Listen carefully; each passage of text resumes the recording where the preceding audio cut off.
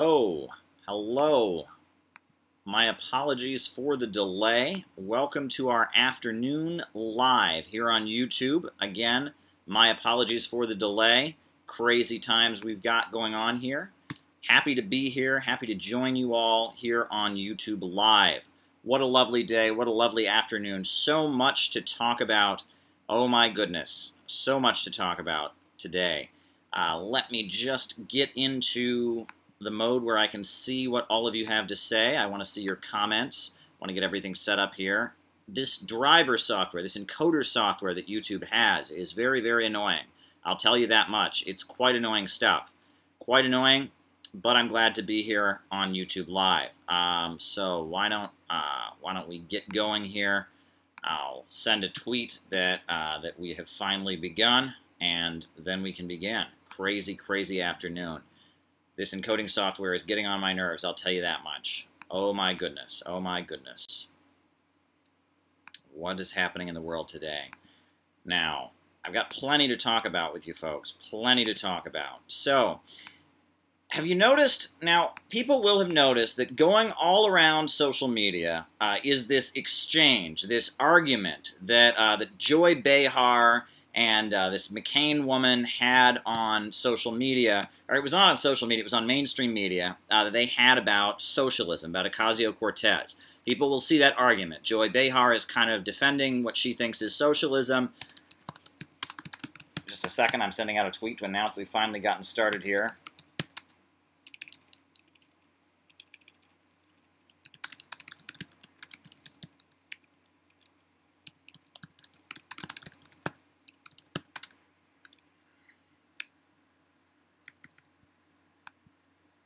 Alrighty. So, folks will remember this incident. Um, shout out to History of Socialism. He says hello. Uh, shout out to Raven Dawnhead. Uh, they say hi. Um, what else is happening here? Uh, hey, Caleb. Uh, anyone here? Facebook lost 20% of its value, says Tim. That is absolutely true, and that is absolutely fascinating to me. Uh, that Facebook has been under all kinds of pressure. They've been blaming them for the election results. How dare they not censor RT? How dare they allow different voices out there? How dare they allow different perspectives?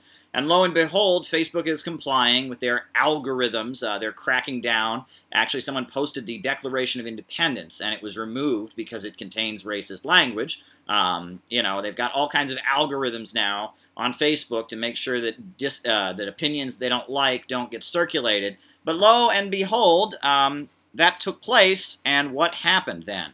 Uh, now, Facebook is losing stock value. People just don't like it as much because the, the thrill of social media was the widespread access to information. You went on social media, you got access to views you don't normally hear, you got to hear different perspectives. Well, lo and behold, uh, now that Facebook is messing with their algorithms, is, is politically controlling things, um, at this point, uh, now Facebook just doesn't have the thrill that it once had. And I could say the same. You know, social media, the lure, the attraction of social media is its ability to show you different sides of the things, is, is to show you different perspectives, be a different, uh, different perspective. You can see more things. Well, lo and behold, uh, now that social media is cracking down, it doesn't have that same appeal.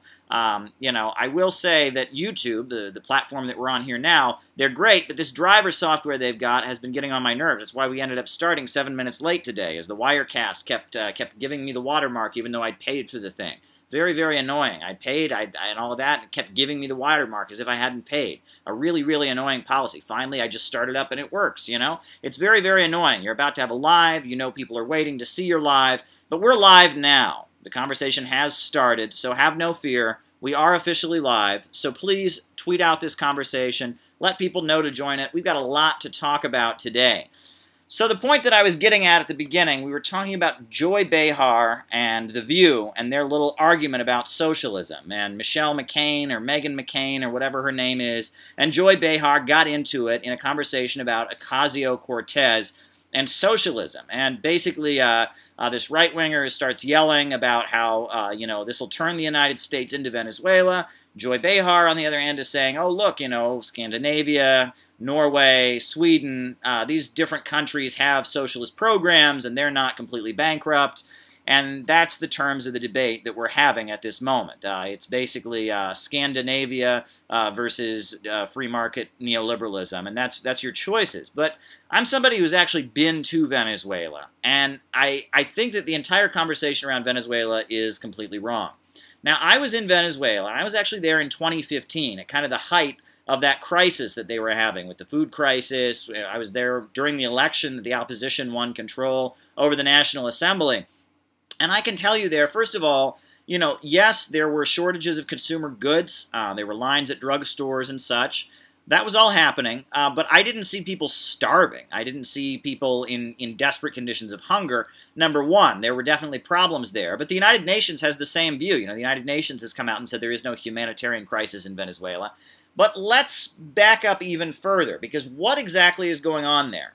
Well, you'll remember you had Hugo Chavez, who was the president. He came to office in 1999, right? And then you had the September 11th attacks, and then you had uh, the U.S. invasion of Afghanistan. He opposed it, and then there was an attempted military coup against him.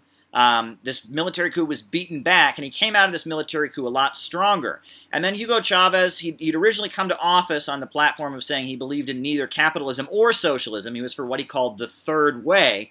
And then he reversed himself, and he said, you know what, I believe in what he called 21st century socialism, or socialism for the 21st century, depends on how you translate it.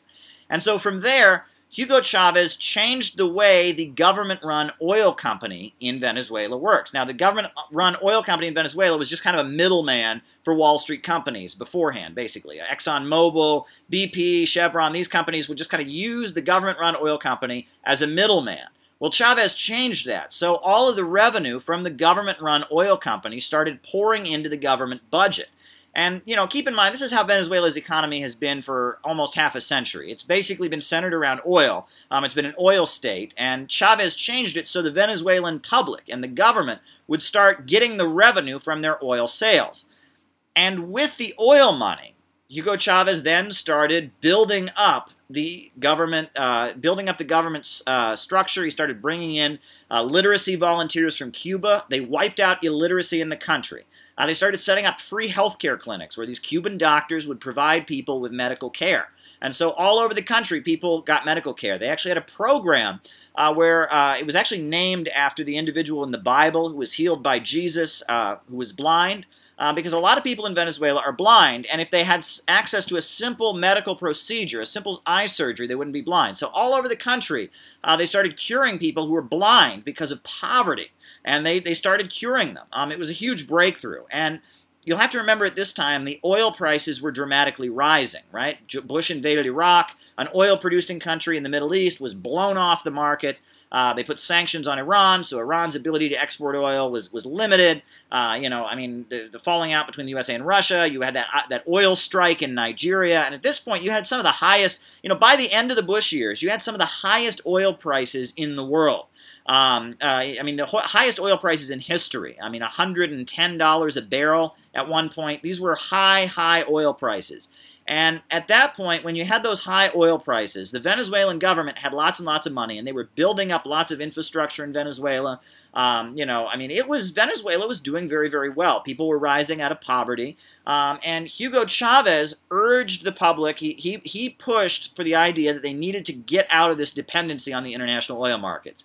Uh, they needed to have their own steel mills. They needed to have their own agriculture. Not very much farming goes on in Venezuela. They import a lot of their food. Almost all of their food is imported at this point. So these problems were happening, and Chavez was saying, look, we need to do it. And the economy was doing very, very well. And it wasn't really until 2014, after Hugo Chavez died from cancer, Many people believe he was assassinated. Many people in the Venezuelan government believe he was assassinated.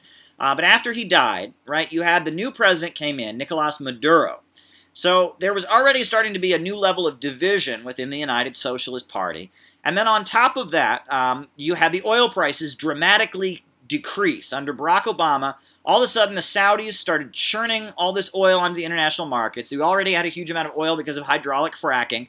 And all of a sudden, almost out of nowhere, these high oil prices, $110 a barrel, $119 a barrel, it shoots down to $40 a barrel, $30 a barrel. Things got bad, right? 2015, 2016, the oil prices were low. And as the oil prices were low at that point, at that point, the government revenue in Venezuela drastically shrunk. And so Venezuela was already in a weak position, being dependent on the oil. And then at that point, when the oil markets crashed, the oil markets went down because Saudi Arabia was flooding the international markets with oil. At that point, the Venezuelan government, which was already in kind of a, a point of political division with the United Socialist Party divided in the aftermath of the death of Hugo Chavez, when that happened, uh, you had division in Venezuela, and that fomented political crisis. And I was there in 2015 during the presidential election. I talked to all kinds of people. I talked to people that were supporting Maduro. I talked to people that were opposing Maduro. And everyone there told me that they loved socialism. And that was the interesting thing. You know, the right wing in the USA, and everyone says that everyone in Venezuela hates socialism. No, the right wing, uh, uh, Enrique Capriles, he said he's a socialist too. He just wants to get along with the United States, and he's not an, uh, an extreme communist like Maduro. Everybody in Venezuela was telling me they liked socialism. But the Chavistas lost the election, and they called it a punishment vote. Uh, because at that point, uh, even though people liked the uh, liked Hugo Chavez, uh, they were frustrated with the way the Maduro government was handling things. They felt like there was corruption, and so based on that, there was kind of a punishment vote against the government. But nobody was saying that they loved capitalism. Now, if you think if Venezuela was was all suffering because of socialism, all the right wing would have to do is say, "Oh, we want capitalism. We want capitalism back." And people would vote for them. But that's not the case. The opposition in Venezuela has, as and really they've stopped that. During the early years of the Hugo Chavez government, uh, during the early years of Bolivarianism in Venezuela, that was the line that the Venezuelan opposition would run. They would say, look, uh, you know, the, the, the Hugo Chavez is a communist. He wants this country to be poor like Cuba. Uh, and that line just didn't work. And in fact, in Latin America now, even the Pope is telling people he's a socialist, right? Socialism is everywhere. All the opposition, uh, you know, Henri Falcón, who ran against Maduro in the last recent election, he said he was a socialist. Everyone says they love socialism. Uh, no one is going to run with this idea that we want free market neoliberalism. People remember the 1990s in Latin America. People remember how awful it was in the early 90s in Latin America when, uh, when at that point, uh, you know, in Venezuela, the electricity would just go off for days because the government wouldn't have the budget to maintain the electricity. Um, you know, the, the garbage wouldn't be picked up and people would have to go on strike. No one in the neighborhood would go to work unless they started collecting the garbage. People would have to burn tires in the streets to get the electricity to come back on, to get the garbage. Public services were just not functioning because they were part of the IMF and they were getting IMF loans. And in order to get those IMF loans, they were told they had to cut their public sector. It was a nightmare when they, they drastically cut public transportation. And that's where Hugo Chavez came from, was in, you know, in 1992, after they had this huge cut in, in public, uh, public transportation costs. When that happened, the people of Venezuela in Caracas, there was a huge rebellion, just, just a wave of rioting. Then after that, you had Chavez attempted coup, the Caracazo, uh, when he attempted to take power um, in order to fix it. Um, Anti-imperialism says, get on the Jimmy Dore show. Well, hey, I would love to do that. Jimmy Dore is a great guy. Um, Libertas Eterna says, hey, Caleb, I'm late. Well, I was late too. We had an issue with, with this Wirecast thing. YouTube needs to get their driver software in order. But, but Venezuelans' problems are ultimately about the drop in the oil prices and about the fact that, that Venezuela has been positioned has been a, it's basically been positioned where it's dependent on the international oil markets. Now you'll notice Bolivia has a socialist government, right? Uh, Evo Morales, the movement towards socialism party, Evo Morales actually began his inauguration with a, with a moment of silence in memory of Che Guevara. Bolivia is not having a big economic crisis. Um, that's just not happening.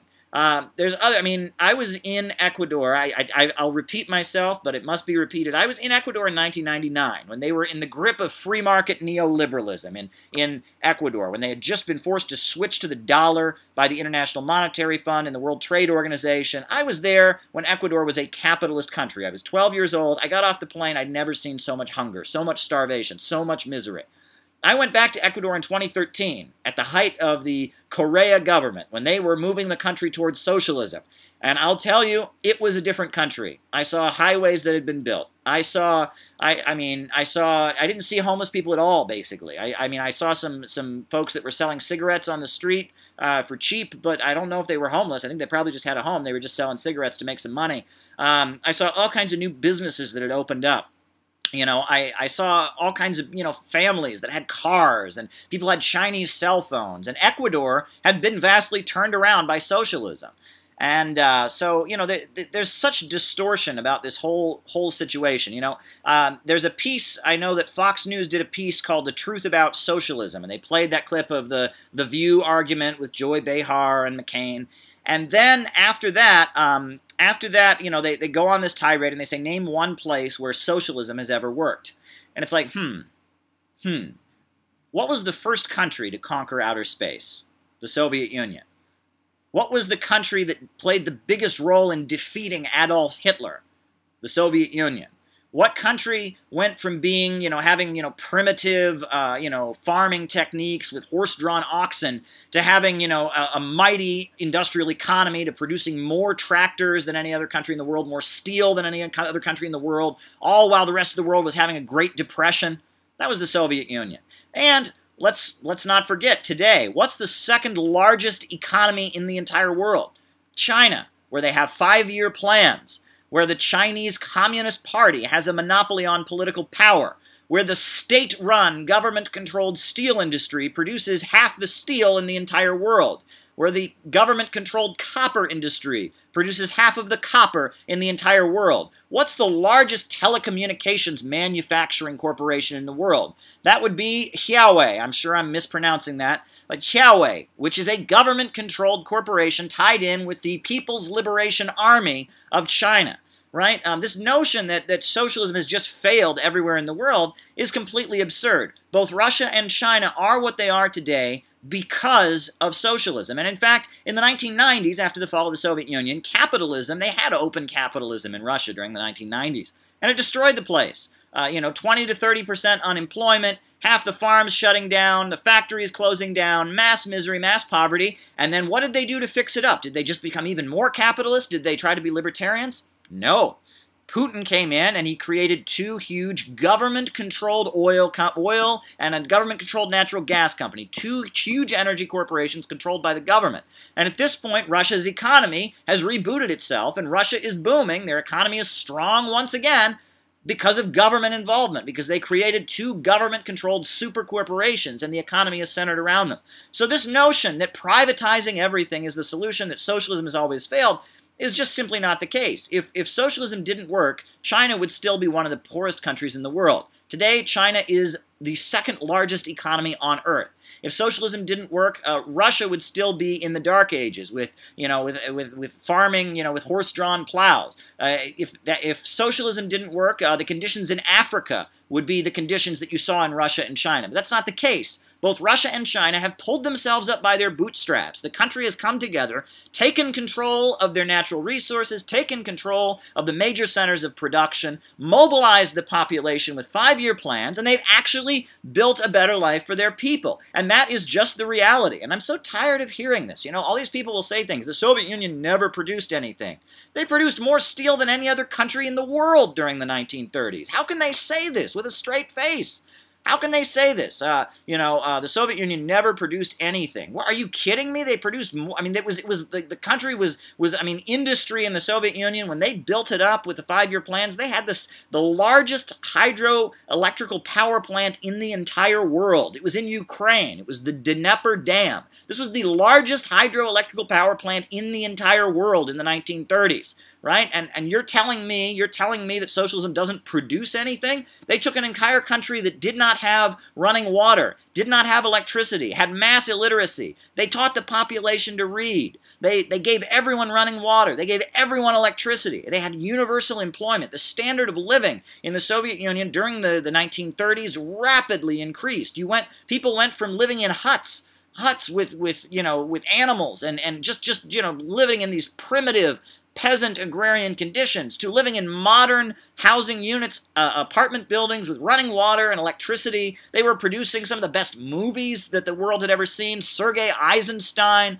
They were producing some of the best music during that period. You had Shostakovich, right? And and that that amazing, you know, music and and cutting edge in the arts and the sciences. I mean, the Soviet Union in the 1930s, you saw the five-year plans under the leadership of Stalin transforming a country that had just been probably the poorest country in Europe and transforming it into just a world powerhouse. And you saw leaders of the West going over to the Soviet Union, the Roosevelt administration, going over there and studying the five-year plans as they, they developed the Works Progress Administration and eventually started building huge construction projects here like the Hoover Dam.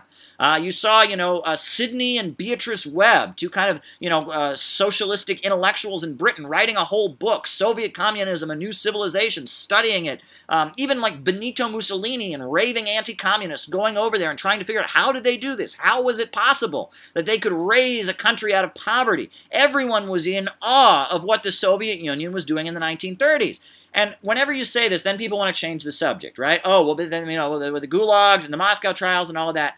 I'm talking about economics here. I'm not I'm not here to debate, you know, political policy. I'm not here to debate whether or not this policy was good or that policy was good. I'm talking about economics. This conversation begins with people telling you the Soviet Union didn't produce anything.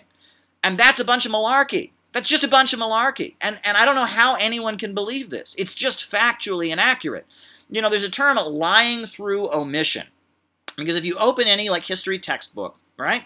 they'll mention this in passing. They'll be like, well, you know, the Soviet Union was able to, you know, you know, bring water, water and electricity to everybody. But but then there was this big famine in 1931, and they had gulags, and let's focus on that. And there'll be 100 pages on gulags, and they'll ignore the fact that an entire country was drastically transformed, illiteracy wiped out, huge leaps in the standard of living. They ignore all of that, right? And and then people just make these statements like, oh, you know, uh, you know, the Soviet Union, you know, they never produced anything. Are you kidding me? How can anyone say this, right? Or, or then you'll get people that try to say, well, China, the way, the reason that China is wealthy today is because it's capitalist, because they have capitalism. Really? Uh, uh, you think China is capitalist? Why don't you tell that to the millionaires who've gotten the death penalty in China? Um, why don't you tell that to all the college students in China who are required to take courses in Marxism-Leninism as the ideology? Why don't you tell that to the, the scientists and the engineers and the consultants that come together every year and write out a five-year plan of development? Why don't you tell that to the people in private corporations in China that get phone calls from the Communist Party that tell them you can do this and you can't do that and you must do this, you're going to build this building here, you're going to build that hospital here. Tell, I mean, the notion that China is a free market country is absurd. There are a lot of private companies, but those private companies obey the state. They do what the Chinese Communist Party tells them to, and that's not capitalism. Capitalism is a system in which profits are in command. The rule of the dollar, hands off, laissez-faire. Socialism is when the people of a country come together and force the economy to work in the interests of the people. And that's what China has done. They've done it differently, right? They no longer do it in the Soviet way where everything's run by the government. But at the end of the day, the government determines all economic activity. In China, it happens if the government wants it to happen, and if the government does not want it to happen, it does not happen. That is a reality. Anyone who's over, been over there uh, will tell you that. And they'll probably tell it to you like it's a bad thing. Uh, but that's the reality. And that's why China is now such a large, powerful country, right? Um, and to be fair, you know, in the 1950s, uh, as their standard of living was first rising, they also, at that point, they didn't have a full Soviet-style economy either.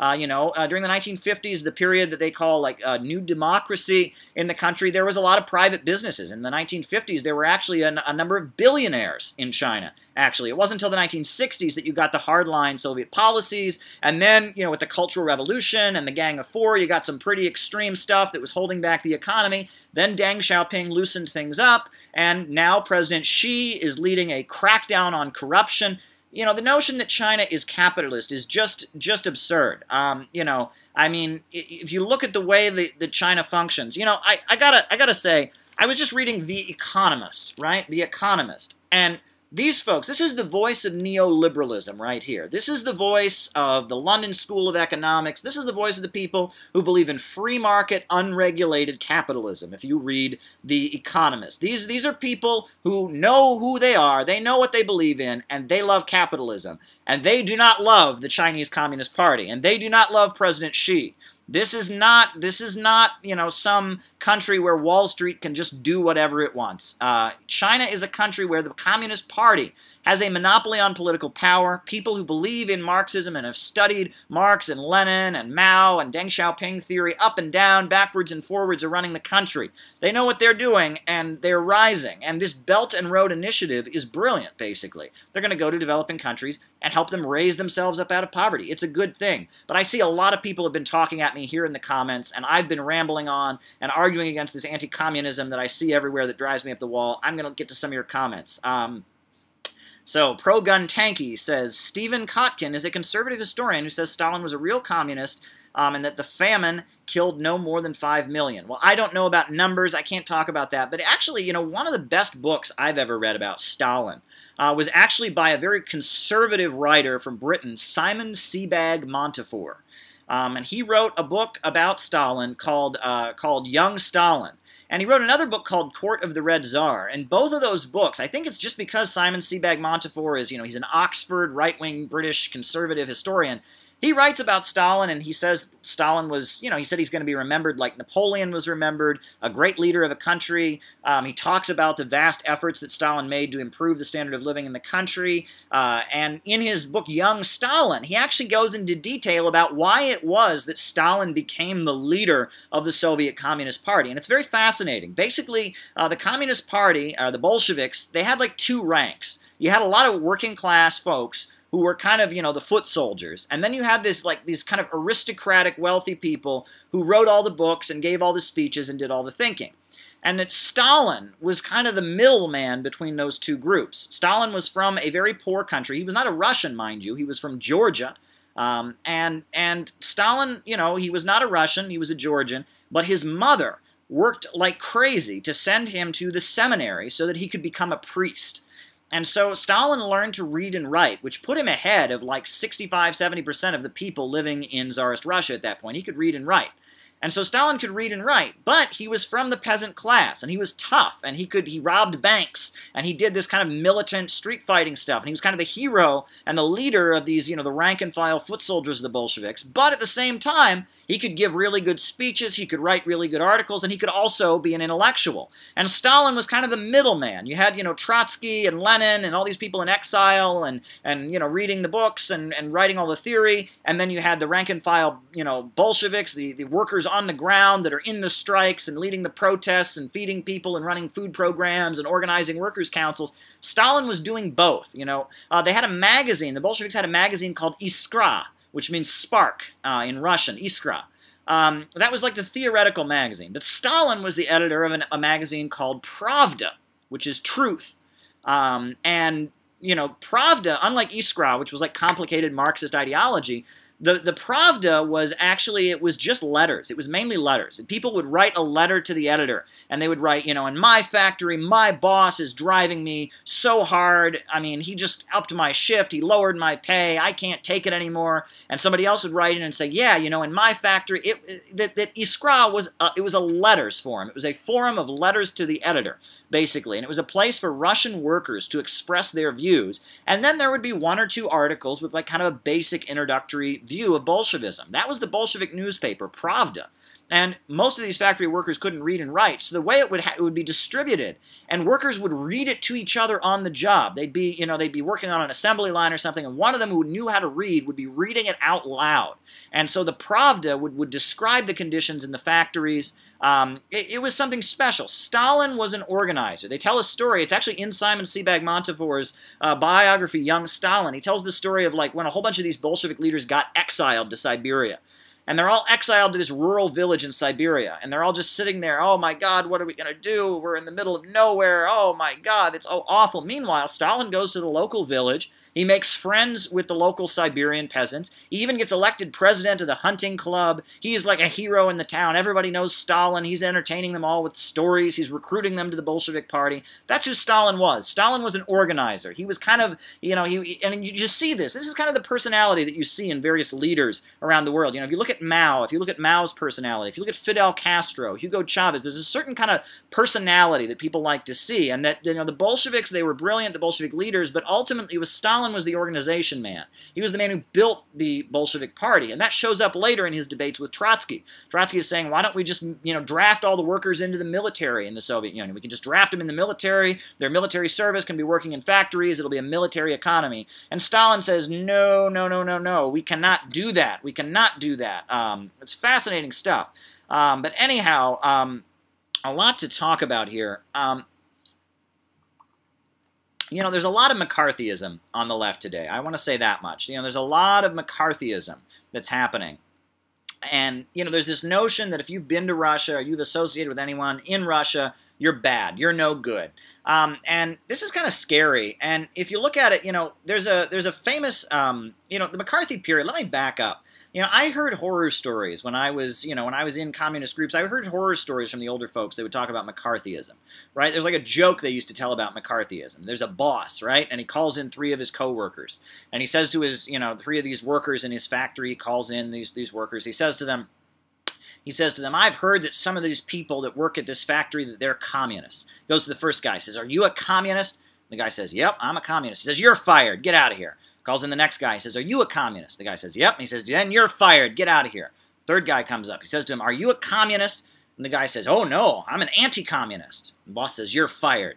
And He says, but I'm an anti-communist. He says, I don't care what kind of communist you are, right? I mean, that was kind of how the atmosphere was, you know. Remember, I had a teacher um, who told me uh, he'd been, you know, his father had been a teamster, and he remembered that his father used to buy the Daily Worker uh, when he was a teamster. And I said, do you have any copies of it? He said, absolutely not. He would rip that up. And he said, you don't understand that back in those days, just to be seen with a newspaper like that was like you had something on somebody. It was like it was it was it was something you you didn't want to be seen with a communist publication. Just to be just to be seen as a communist was was something you didn't want to be. And these were were bad bad times. And the interesting thing uh, about about all of this is that we're in this weird period where it's like anyone who's associated with Russia, anyone who's been with, to Russia is no good.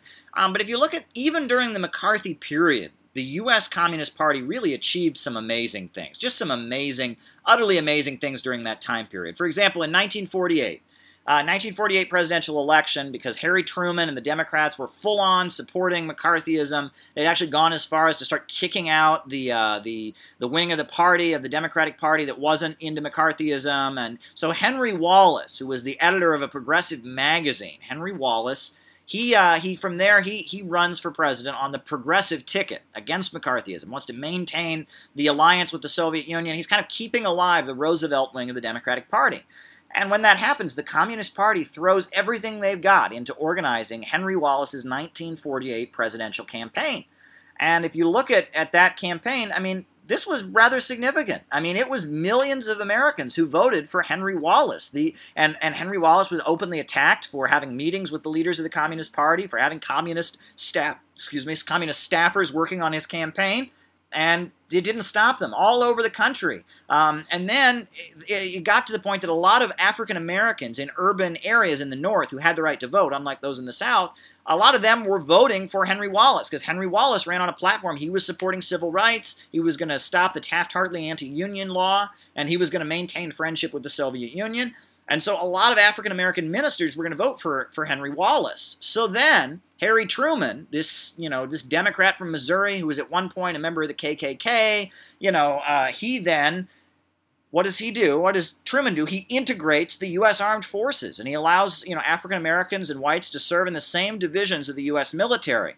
And so at that point, you get the Southern Democrats, the Dixiecrats, with Strom Thurmond. They break away from the Democratic Party, and they form the National States Rights Party, and they're supporting Jim Crow segregation. So the Democratic vote in 1948 was split three ways right? You had the Progressive Party, Henry Wallace, the Roosevelt wing that wanted to, you know, maintain, you know, the, the alliance with the Soviet Union, supported civil rights, supported the labor movement you had Harry Truman, and he was the president. He was running for re-election, and then you had the you know the KKK, national states' rights, Jim Crow segregationists. You had the, the split three ways in the Democratic Party. Now there's a famous photograph that people like to hold up. It says uh, Dewey defeats Truman.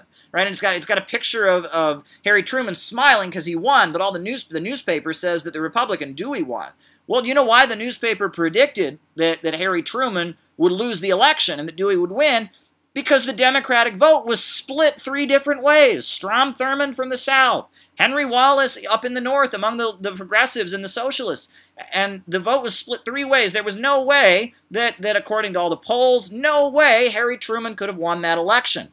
But he did. And a lot of people look back on that election and say, hmm, something didn't really smell right there. Right? If you look at that election result, uh, you know, in Chicago, where you know the Daley machine, this very very corrupt political machine, uh, you know, Truman got a lot more votes than than he should have. Uh, if you go to other parts of the other parts of the country, in the South, and most of the southern states banned Henry Wallace from the ballot because he was he was uh, in favor of, of ending segregation. So so that election, the reason that that Harry Truman famously holds up that newspaper that says that he lost when he actually won, and that's supposed to be so funny uh, that was because the Democratic vote was split three ways, and it was mainly the intervention of the Communist Party in pushing Henry Wallace to run, in rallying people to support Henry Wallace, the socialist, that, that, that really ultimately had a huge impact on, on the U.S. public. And this is at a time that communists were being thrown in prison.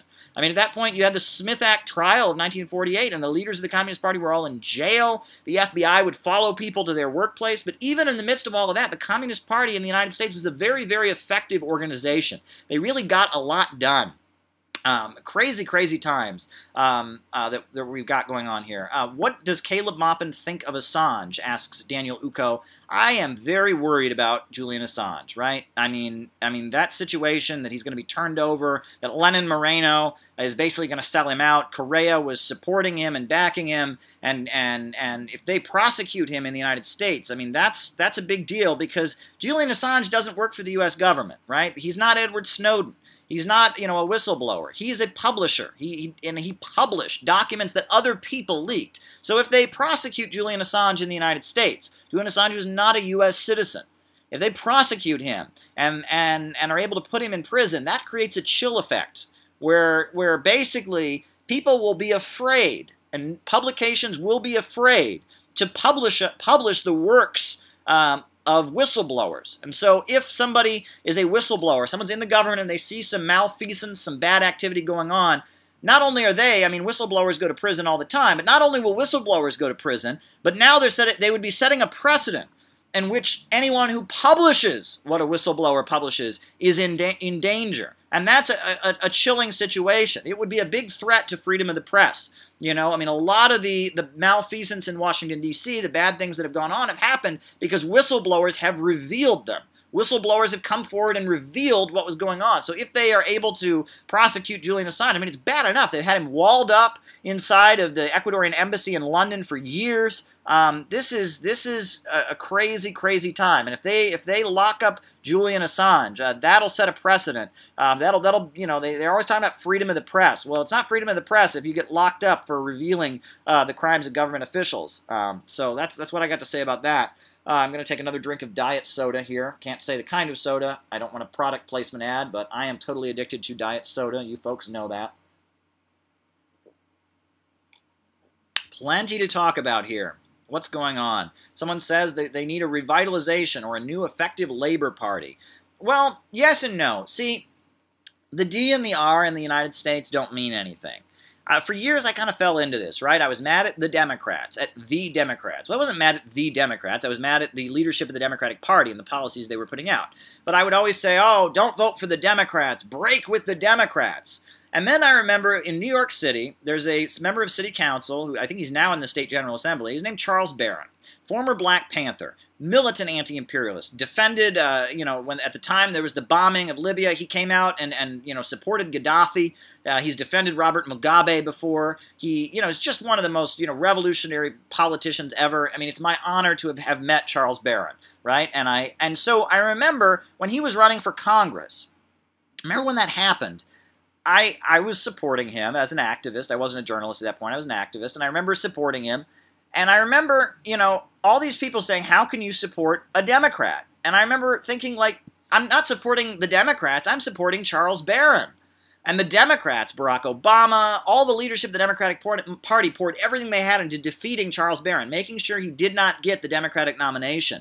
Um, and it ultimately went to someone else. Um, and but but you know you know when I was on the campaign trail, all these far leftists are saying, "How can you support a Democrat?" And I'm thinking, I'm not supporting a Democrat. I'm supporting a, a guy that all the Democrats hate. I'm supporting Charles Barron. I'm supporting a guy who is an anti-imperialist, a guy, I mean, and and it was this weird moment where I realized that this, you know, and then I see now in in in uh, Ohio, we've got Berniecrats who are running on the Republican ticket. We've got Bernie Sanders Democrats who they, they're not going to get the Democratic nomination, so they run as Republicans, right? And and then I remember that Karl Marx endorsed Republicans, and that at the end of the day, this D and this R don't mean anything. You know, everyone knows. So, for example, right? In a one-party state, right? In a country where you have one party, right? Uh, where you have a ruling party, right? Like you know China. Uh, you know, you have one. It's a one-party government, right? Everybody knows there's disagreements within the government. Not everyone agrees on everything, but there's one party. So if you want to have an influence in politics, you have in China, you better join the Communist Party. Uh, in Syria, if you want to have an influence on politics, you better join the Ba'ath Party. I know that there's also the Communist Party and there's the the Syrian Social Nationalist Party and there's other parties, but ultimately the Ba'ath Party is the, the, the ruling party. And and so, but everybody knows that within the Syrian Ba'ath Socialist Party there are differences. In the United States, we live we don't have a one-party state. We've got a two-party state. But everybody knows that when you have a two-party state or a one-party state, those parties don't mean anything because people disagree with each other. They just naturally do. If you get people in a room, they don't agree with each other. And so when people disagree, they can have the same, you know, letter next to their name and they still disagree. And I started to wonder, you know, what's the deal? And even the Republican Party. Now the Republican Party began as a third party. But let's remember that the Republican Party was a split from another major party. It was a two-party system. They were split from the Whig Party. So at the end of the day, at the end of the day, right, uh, the, the, the D and the R don't mean anything. Now, does that mean that I think we should always vote for the Democrats? No, absolutely not. I did not vote for Hillary Clinton. Uh, um, I, you know, I didn't vote for Trump either, but I, you know, I'm not saying you should always vote for the Democrats. That's not what I'm saying at all, right? I, I've voted third party pretty consistently throughout my life. Um, what I'm saying is that that the D and the R don't mean anything, and that this you know break with the Democratic Party and all of that it ultimately does not mean anything. And now somebody else is pointing out yet there's there's eight political parties in China, but the Communist Party is the right, and they're correct, right? In China you have like a Peasants Party, you have the left KMT Party, and there there are other parties that are included in the government process, but ultimately the Chinese Communist Party dominates the process and Everybody knows, however, that, that there are different views within the party. They march as one. It's a disciplined, revolutionary party, democratic centralism. But at the end of the day, no one's saying that just because you're in the party means that you absolutely 100% agree with everybody else. And that's the whole thing, is that within the Democratic Party, I mean, Alexandria Ocasio-Cortez and Hillary Clinton are in the same party, right?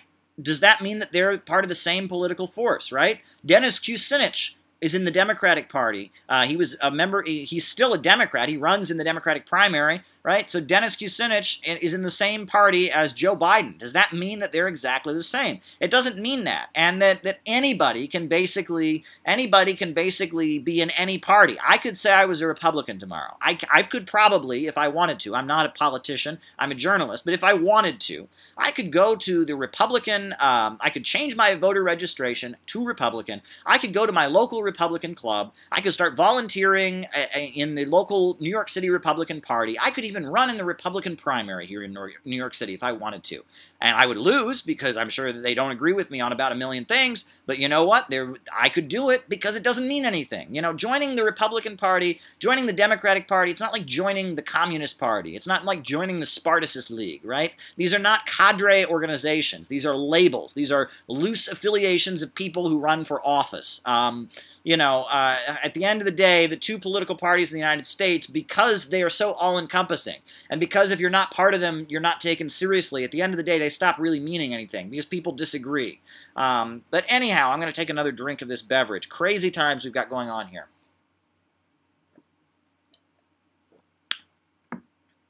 Alrighty. Now, what's new? Now, I was talking about McCarthyism before you know, there's all this talk about McCarthyism, and I, you know, Dalton Trumbo, and he, you know, he was the screenwriter. He wrote the movie Spartacus.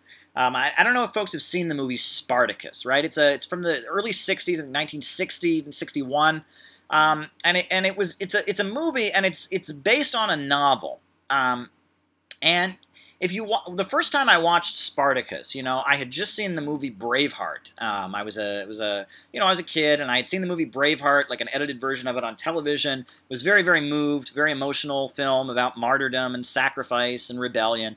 Um, so I remember I saw the movie Spartacus, like the 1960 early movie, uh, Kirk Douglas. I saw Spartacus, written by Dalton Trumbo.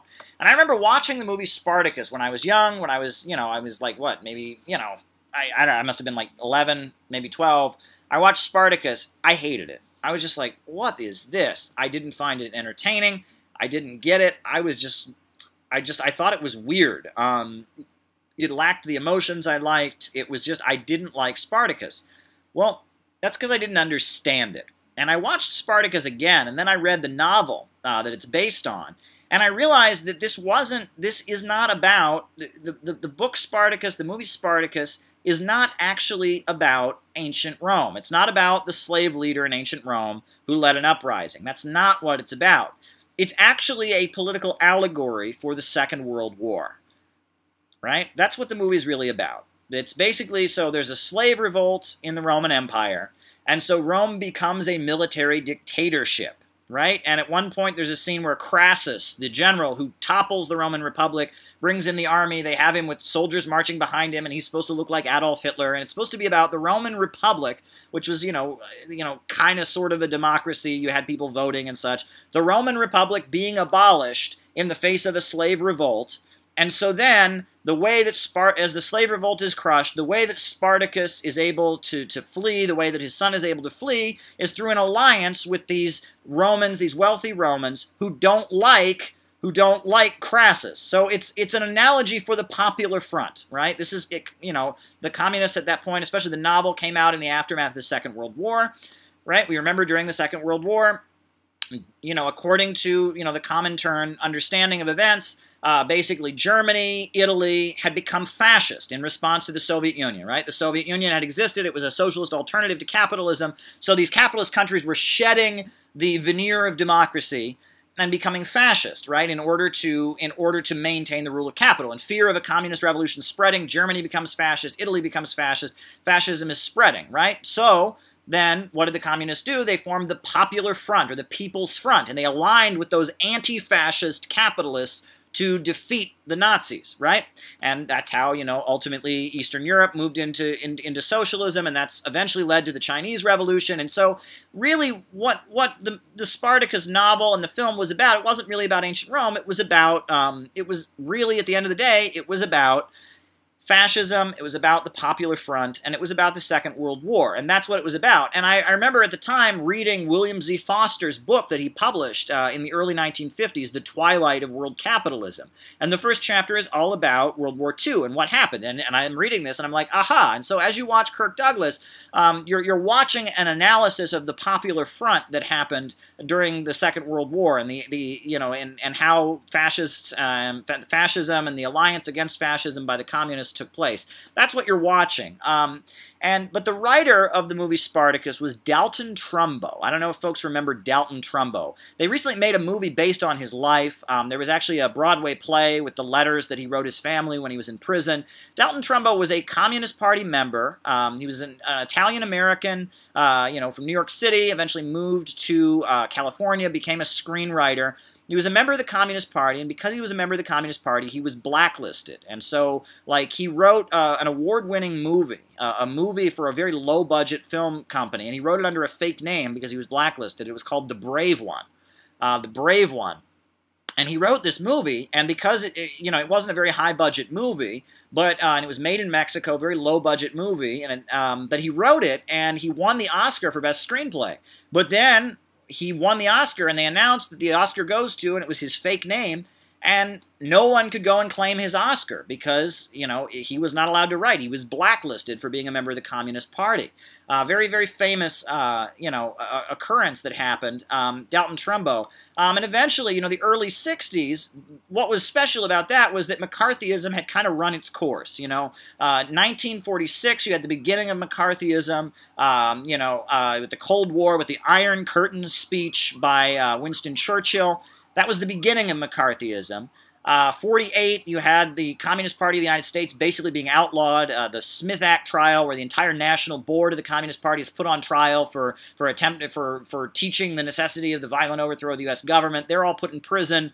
Um, you know, 1951, you have the McCarran Internal Security Act that's passed. the McCarran Internal Security Act. It says in a, in a time of national emergency, uh, the government is going to assemble a list of up to 2 million people who will be put in concentration camps right? You can read about the McCarran Internal Security Act of 1951. Pretty crazy. Um, then, you know, as things escalate, then you have ultimately 1954 uh, you have the execution of the Rosenbergs in the aftermath of the death of Stalin. You have the entire international community basically rallying, you know, to free the Rosenbergs, saying the Rosenbergs are innocent. All these heads of state around the world saying that this should not happen. But the Rosenbergs get the death penalty. Stalin is dead. Khrushchev is is in in terms of rising, and at that point, McCarthyism started to ebb. And the reason that it started to ebb was basically Joe McCarthy and the John Birch, well, they weren't the John Birch Society yet, they weren't founded yet, but these kind of anti-communist fanatics, a lot of these doctors and lawyers and people like that, they were using the fear of communism to exercise political power in the United States. Right? Joe McCarthy famously accused the U.S. Army of not being hard enough on communism right? And, and have these investigations of the U.S. Army. And that all kinds of mainstream politicians were terrified of Joe McCarthy. And that this, this kind of extreme wing of the Republican Party that didn't represent the richest and most powerful capitalists, it represented kind of low level middle class folks via Joe McCarthy. They were exercising huge, huge amounts of political power, and everyone was terrified of them. And, and that was at the point where the Kennedy family, you know, the Kennedys, they had been all about McCarthyism. They loved McCarthyism. They were Roman Catholics in the urban political machine of Boston, and they saw the Reds, the, the communist labor organizers, and all that as their rivals, as their competitors, as a threat. They were all about McCarthyism. But, you know, mid 50s, they back away from it. And you know, there was this fear um, among a lot of forces among the rich and powerful in the United States that, that McCarthyism was going to cause a blowback. Uh, that basically people were going to be so put off by McCarthyism uh, that because of that, uh, they're going to be interested in communism. And you actually start to see some of this play out. For example, uh, have you ever watched the show The Twilight Zone?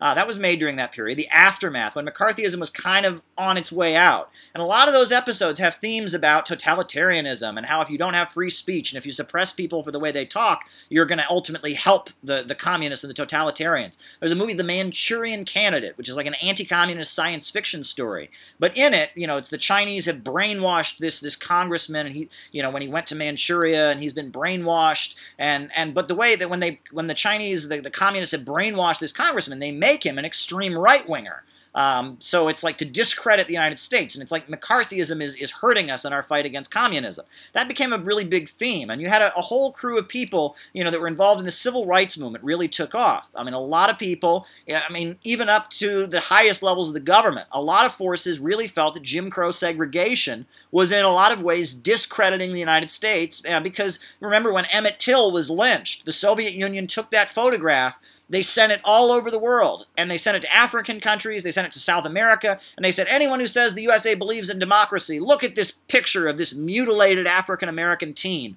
who did nothing but, but allegedly whistle at a white woman, right? And and that photograph, the, the, the photograph, it was really in Jet magazine, like an African American magazine. The Soviet Union circulated it all over the world. And there were a lot of forces in the USA that felt like in order to, to fight communism, the USA needed to be more liberal and that the more liberal the United States could be, that would be the way to defeat the communists. And so there, there was a surge of kind of liberal activism, and the, the, Kennedy family gets involved with civil rights, and the Montgomery bus boycott, and all of this was happening, and McCarthyism was starting to play itself out.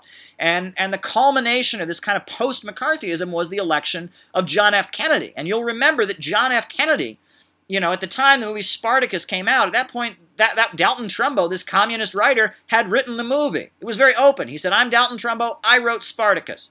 And they were showing it in the American theaters. And all over the country, the John Birch Society and these right wing activist groups were picketing the movie. And you'll remember very famously, John F. Kennedy went to see the movie Spartacus. He went to see it. He said, "You know what? I, I, you know, I it's a good movie." He gave an interview. He said it's a fine picture or something to that effect. That was a big deal, and that was kind of McCarthyism being edged out. But, you know, Dalton Trumbo was this writer, and I must say, you know, as much as I, I, I now, as an adult, as someone who understands politics, and I get that the movie was about World War II, and it's a political message, and it's not Braveheart, now as, you know, as an adult, I like the movie Spartacus. I must say, as much as I liked the movie Spartacus, uh, and Kirk Douglas, and I love, love the politics there, Dalton Trumbo made a, did another thing that disappointed me. He made another movie during that time period. He made the movie Exodus, which is just an Israeli propaganda film. I mean, it's just really explicitly, blatantly an Israeli propaganda film. Exodus, right? And there's that song, This Land is Mine. You know, it's Spartacus, right? Um, and, and, or not Spartacus, it's Exodus. I guess he must have liked movies that ended in U.S. or O.S. I'm just kidding, just kidding. But no, but he made the movie, um, the movie Exodus, which was just an Israeli propaganda film. Um, and the movie Exodus, uh, interestingly though, as much as it was an Israeli propaganda film, let's not forget that the Communist Party of the United States, the Soviet Communist Party at that time, they were pro-Israel. They took pro-Israeli positions. It wasn't really until the 1967 war you saw that the Soviet Union, you know, explicitly turn, you know, against Israel. Um, and th there had been some falling outs. There was, you know, the doctor's plot. Um, there were there were various parts of Eastern Europe where they found Zionist uh, spies, Israeli agents, or allegedly Israeli agents. I don't I don't know the, the details. And there was there was tension. But ultimately, you know, at, at the time the movie Exodus came out, there was no contradiction between being a, an open communist and a supporter of the Soviet Union and being a supporter of Israel. And so Dalton Trumbo, who made this great Hollywood, you know, Marxist film, Spartacus, he also made a Marxist film, uh, you know, Exodus, that was very, very pro-Israel. So I can't fully endorse Dalton Trumbo there. Um,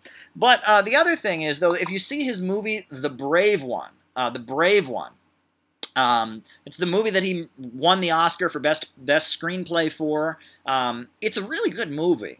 Um, it's it's basically it's about a bullfight, and it's about this this boy who goes to rescue his pet bull from a bullfight, and it's really low budget, made in Mexico. Um, but it's got all kinds of politics in it, um, political hints like below the surface. They talk about the peasant condition. They talk about the Mexican Revolution.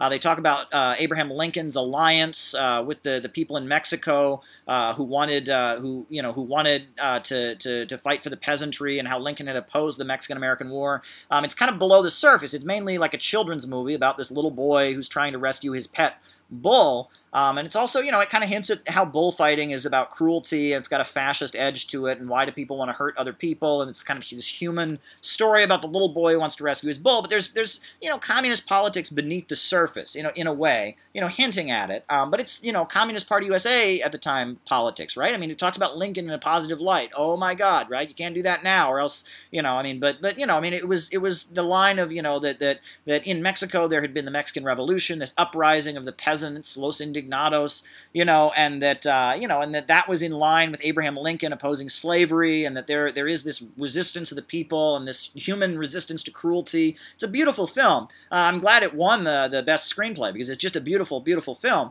Now, what's interesting about it is, you know, the film, you know, it's about bullfighting, basically, and it shows bullfighting in a very negative light. But it was pointed out to me by somebody that bullfighting, even though now, I mean, I'm opposed to bullfighting. Do not get me wrong. I am against bullfighting, cruelty to animals, barbaric behavior. I'm against it. But the origins of bullfighting, the origins of bullfighting are interesting if you look at the origins of bullfighting.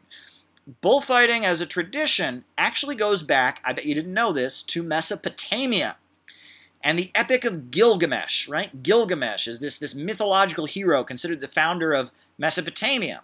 And one of the actions of Gilgamesh is he killed a giant bull, right? Gilgamesh killed a giant bull all by himself. And it was to show the people that, look, this bull is bigger than I am. It's huge. The bull is huge. The bull is stronger than I am. The bull is bigger. But I, as a human being, possess human intelligence. So I, as a human, even though I'm weaker than the bull, even though I don't have huge horns, even though I'm not, you know, a hundred thousand pounds, I'm even though I'm nowhere near as as powerful as a creature, I can slay a bull because I have a soul, because I possess within me human intelligence. And in the Epic of Gilgamesh, you have this important scene where the founder of Mesopotamia, one of the first civilizations in human history, slays a bull to show his followers what it means to be human.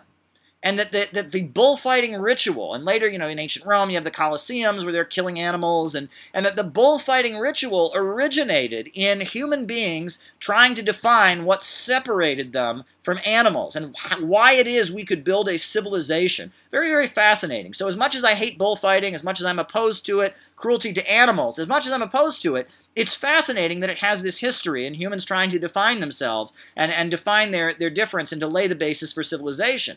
And what's also interesting is, is it's kind of a double-edged sword because, you know, the, the bullfighting is an act of cruelty. I mean, you're killing a creature there, but in the process you're defining, and so it's like civilization has always had an edge of, of cruelty. Um, um, Julian Drews asks me, Hey Caleb, your opinion of Jordan Peterson. He doesn't understand Marxism, but are there other points that you think he makes that are valid? Well, in all honesty, you know, I, have watched a few of his videos. I will say, you know, they promote his videos like crazy. I mean, they come up in my newsfeed like something else. I'm so tired of hearing his voice. I'll see a, uh, an item, it'll be, oh, it's Jordan Peterson talking, and I'll, I'll click on it, and then I'll hear him talking again. And, you know, a lot of it just sounds like traditional conservatism. Some of it, you know, seems, you know, but but the big thing about Jordan Peterson is he does not know anything about Marxism.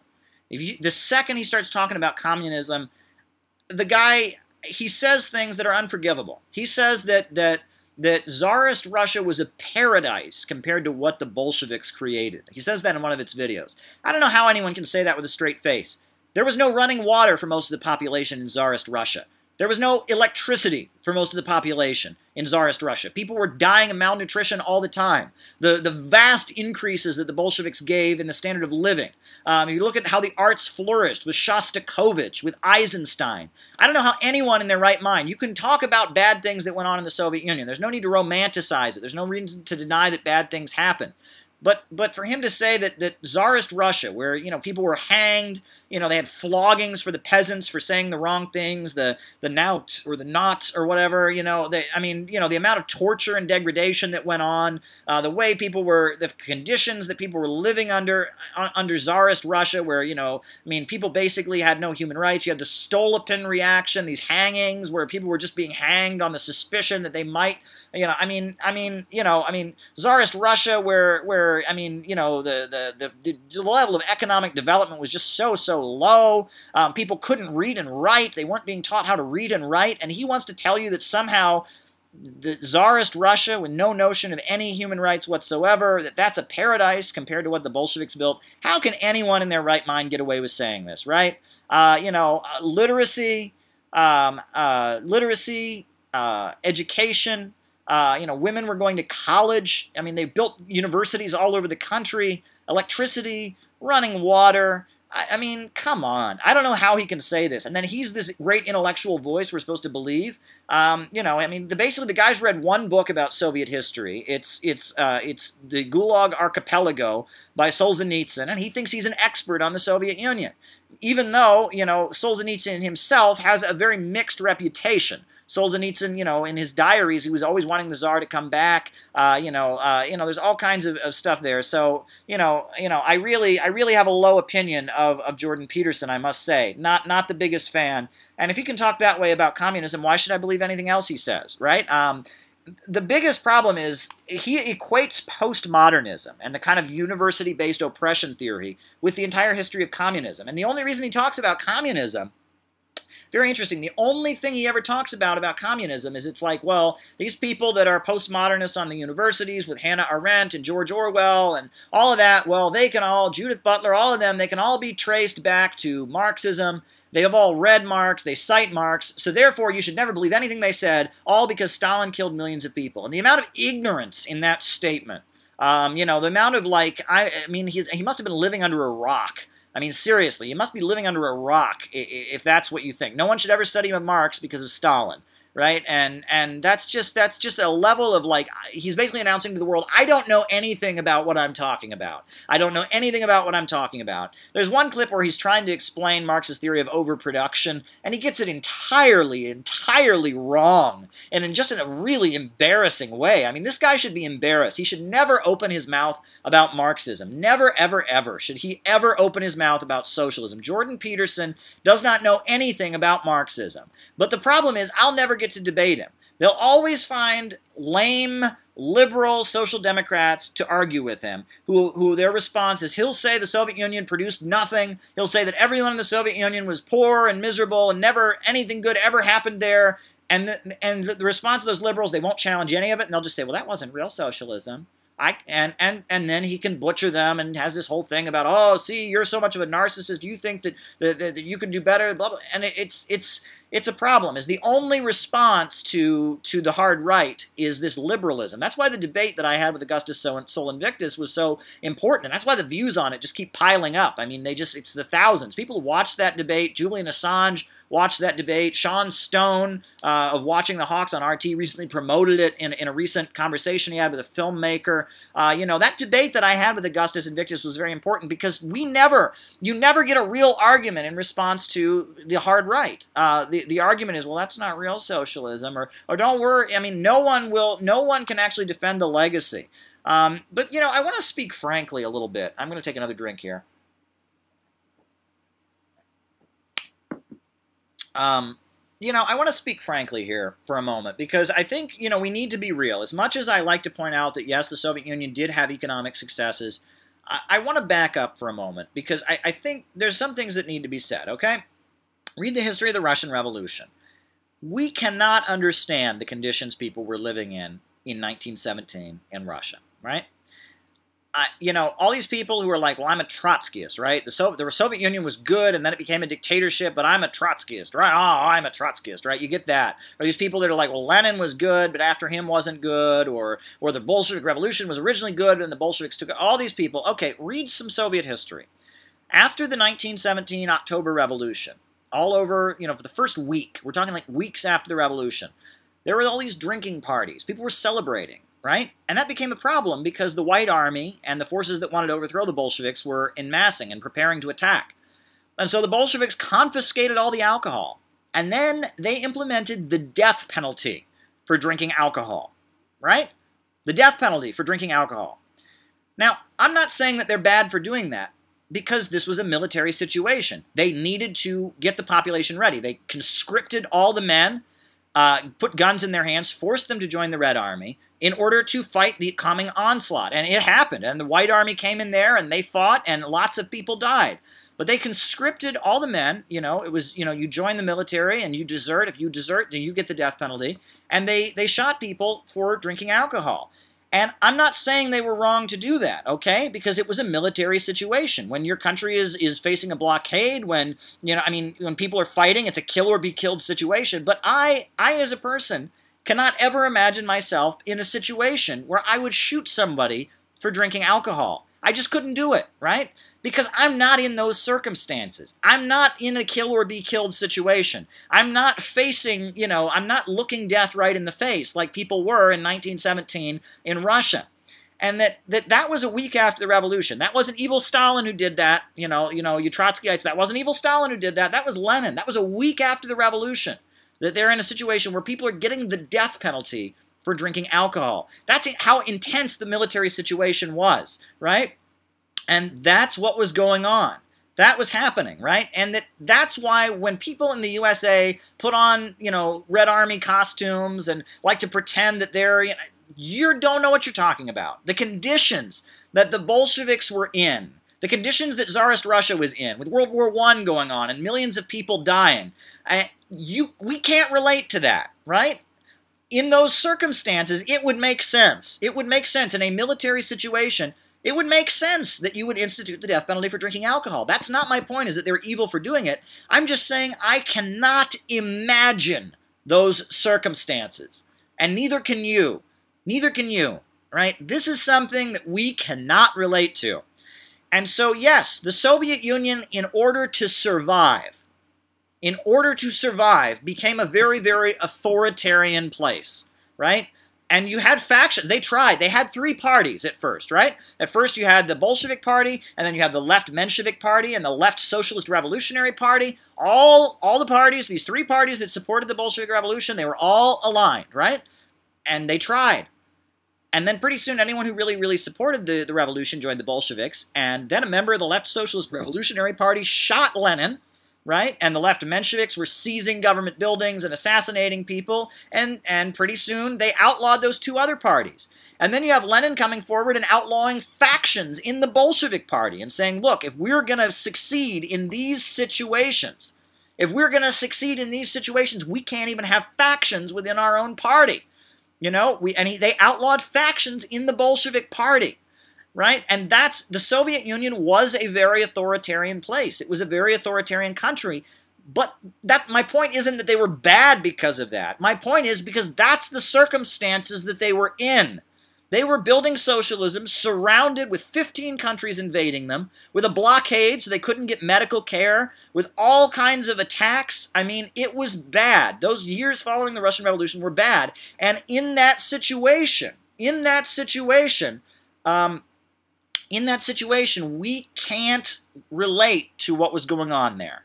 We can't. We just can't. And we can't judge them for it. And we can't say to them that, oh my gosh, you didn't have the level of freedom that people have in New York City, in Brooklyn in, in 2018. Oh, you're bad. No, we can't.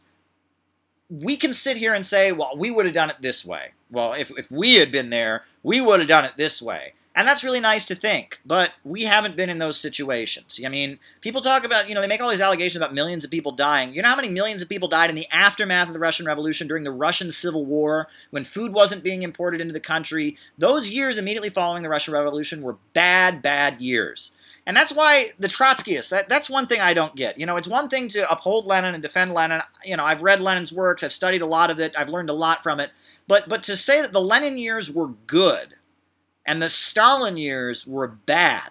It really shows a disconnect, okay? The Lenin years, you know, those were some pretty, pretty bad times. That was a, a point where, you know, like the Quakers and uh, the Red Cross were going in there and delivering medicine, where people were starving, and it was, it was a bad time. The economy in Russia started getting better when Stalin came to power in 1928, when they established diplomatic relations with Western countries, and they had the five year plans and they mobilized the population to start building up a socialist planned economy in one country. And that's when you got you know hydroelectric power plants being built. That's when you had illiteracy being wiped out. That's when you started building universities and schools and the steel mills started churning out more steel than any other country in the world. And that's when the, you know the population that had been living in huts started living in modern housing units. That's when they you know the, the collective farm system uh, they, they built it and all of a sudden they had you know tractors tractors and mechanized agriculture and factory farms and, and all of that. That's when things started, life started improving in the Soviet Union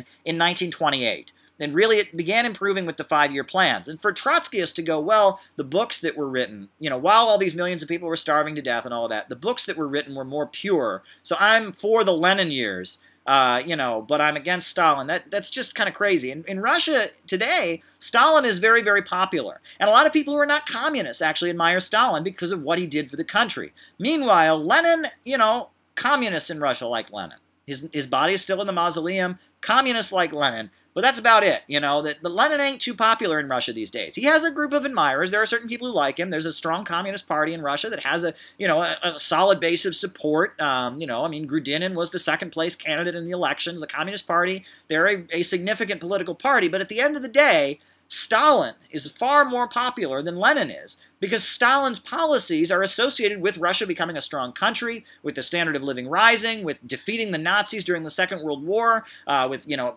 ultimately you know taking the measures that got them into outer space. And that, that that you know we can't, as people living in the first world, as people who haven't you know you know gone through you know harsh military situations, we can't relate to what went on in the Soviet Union. You know, I cannot ever ever imagine myself shooting somebody for drinking alcohol. I can't imagine ever doing it. But I haven't been in those dire circumstances. And that's the point, right? That, that, that we don't know what we're talking about. And when people say, oh my God, you know, the Soviet Union's an evil country, I heard somebody got arrested for reading a book. Well, you know, you don't know what they were up against. You really don't. I mean, read the, the situations that they were in what the Soviet Union did when they got themselves from from from the darkest situations that they were in right after World War One, after the revolution, the fact that they got there to outer space. They got there, they defeated the Nazis, they built a modern country, they built a modern steel industry, they built, you know, I mean, they, they created a world superpower. The fact that they went from those dire circumstances after the revolution to where they got, to where they were by the 1950s and 60s, that shows that socialism works, that socialism did not fail, that socialism is a success. right? And that's what you need to learn from the Soviet experience. That's what I take from the Soviet experience. And I stop there. I don't judge. I don't know what I would have done in those circumstances. I really don't know. You know, the kind of choices the Bolshevik leaders had to make. I don't I can't even relate to those choices. The kind of decisions that they had to make, you know, when they, you know, when, when they, I mean, we cannot relate. We really can't. I believe in socialism, and I think the Soviet Union, what they achieved, despite everything, and the same for China, what China has achieved despite everything, shows that we don't have to have capitalism.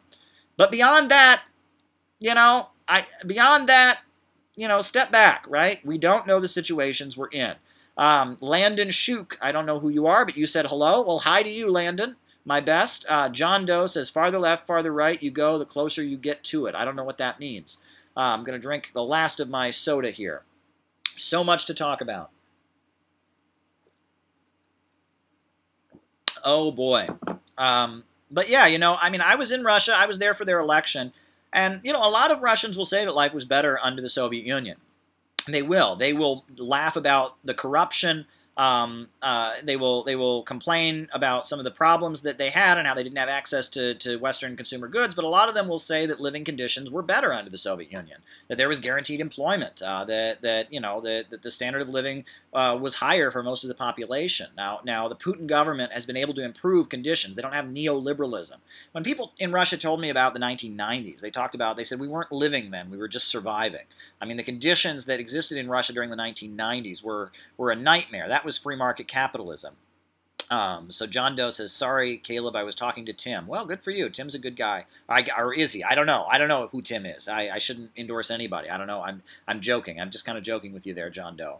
Um, as Ch China turned to capitalism, reflections on the transition from capitalism to socialism by Domenico Losurdo, Tornado Nick recommends. Well, I don't think China's capitalist. Um, uh, uh, I, I, really don't, and I, I, just I don't I don't think that's correct. And I think that people that think that the only form of socialism that is socialism is that Soviet model is absurd. Now I do want to say I've switched to water now.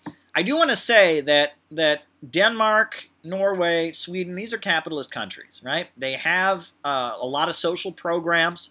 They have a lot of government regulation. Um, they, they provide their populations with a lot of social welfare programs but they're ultimately capitalist countries. At the end of the day, you know, the means of production in these countries function according to profits. There's just a lot of government redistribution of wealth.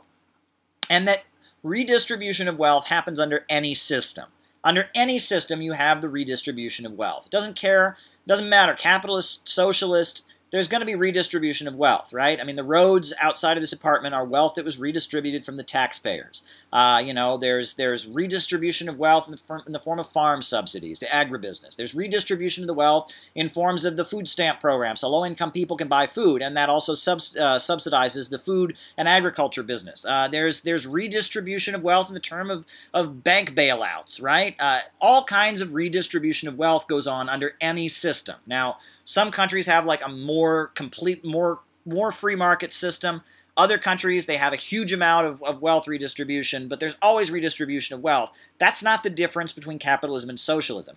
Capitalism and socialism, the difference between those two systems is under socialism, the mechanisms for creating wealth, the means of production, the banks, the factories, the major centers of economic power are operated for the good of society that the state and society comes together and tells and dictates how the means of production function. That is the difference between capitalism and socialism. In Venezuela, I've been there, and you have a big market right? You have a lot of private companies, right? In fact, that's some of their problems that they have is the fact that, that food imports, and they've got the food importing companies that, that, that, don't necessarily like the government. But at the end of the day, uh, at the end of the day, the government forces the economy to function in, in the way that the society wants. For example, in Venezuela, um, at this point, you know, the government has all the, the money coming in through the oil industry. And through that, they're able to subsidize businesses. And ultimately, the means of production in Venezuela function according to a central plan. The same for China. China, you have a lot of private businesses, but at the end of the day, everything goes on how the government wants it to go on. Government controlled industries and banking systems and corporations, they, they, they control everything. And the government controls the means of production. Production doesn't go on for profit, it goes on according to what the state central plan says. Uh, the same for Vietnam, the same for Laos. Uh, you know, uh, uh, the same I would say for for various countries around the world. Uh, you know that, that that you know Syria, for example, the Ba'ath Socialist Party controls the economy. Uh, the major centers of economic power are in the hands of the government, and the government controls the private sector. The private sector is subservient to a state central plan. That's what socialism is. It's a an, an economy controlled by society in which profits are not the basis for production. That's what socialism is. What a day! What a what a day this has been. I must say I am deeply frustrated with uh, this YouTube encoding software because we started way later than we should have. You know, earlier I was talking, I was speaking about about uh, the art in the Soviet Union. Maxim Gorky. This is a writer that you don't hear much about if you live in Western countries. He gets kind of dismissed, but in China people love this guy. In Russia people love this guy. I actually have probably the, the first novel that he wrote that's considered to be socialist realism. Um, and this this is the novel uh, Mother by Maxim Gorky. Uh, just a beautiful, beautiful novel uh, that, that Maxim Gorky wrote. Um, and it's about a group of revolutionaries living in Tsarist Russia. Just a beautiful, beautiful book, The Mother um, and if you read it, uh, you know, it, it, it's kind of a romantic story. Uh, you know, there's this woman uh, living in Tsarist Russia whose son moves to the city and becomes a revolutionary. Uh, beautiful story. And, and Maxim Gorky, you know, he went into exile. He was a Menshevik, actually. He went into exile uh, after the Bolsheviks came into power. And then during the Stalin years, he actually, you know, was able to go back to the Soviet Union, and he lived in the Soviet Union for the rest of his life. Maxim Gorky, and he's just one of the most beloved novelists. He was a famous novelist in Russia prior to the revolution, and then after the revolution, he, he was very, very well loved. Um, Norway has a bigger public sector than Venezuela, says anti-imperialism. Yes, uh, but you'll have to keep in mind, anti-imperialism, that in Norway, the public sector simply functions for the benefit of the private corporations. Um, and Norway has a much bigger economy overall. But in Venezuela, the public sector has control, and that the private sector is in subservience to the public sector, right? It's not about the size of government. For example, Saudi Arabia, the public sector in Saudi Arabia, I don't know if you want to call it the public sector, the royal sector, Saudi Arabia is huge. There's a huge amount of government ownership in Saudi Arabia. But all the government of Saudi Arabia does is ensure that the Saudi royal family can make profits. And the, the decisions that the government makes are for the purpose of making profits for the Saudi royal family. And uh, that's why they were churning oil out onto the international market while their economy was crashing and burning. That, that the post office, right? We have a public sector in the United States, the post office.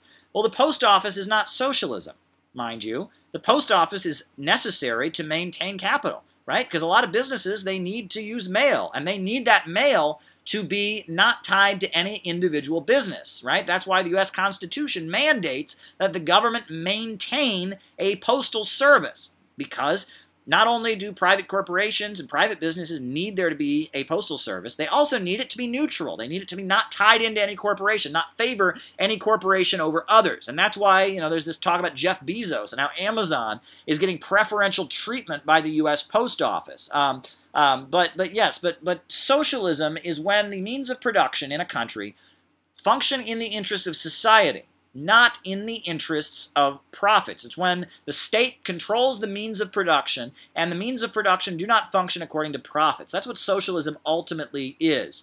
Um, and that's that's the difference. And that, you know, yeah, I mean, Singapore. Singapore has a, you know, it's very funny. People try to say Singapore is a great example of capitalism. Well, it is capitalist, but Singapore, these libertarians who bring it up, they ignore that in Singapore, the government has a very, very big role in the economy, huge amount of state involvement. But what does the state in Singapore do? The state in Singapore ultimately makes sure that the four ruling families enrich themselves and make money. Um, you know, and that's how it is in a lot of countries. Taiwan, right? Big government sector, but the government makes sure that the ruling capitalist families make money.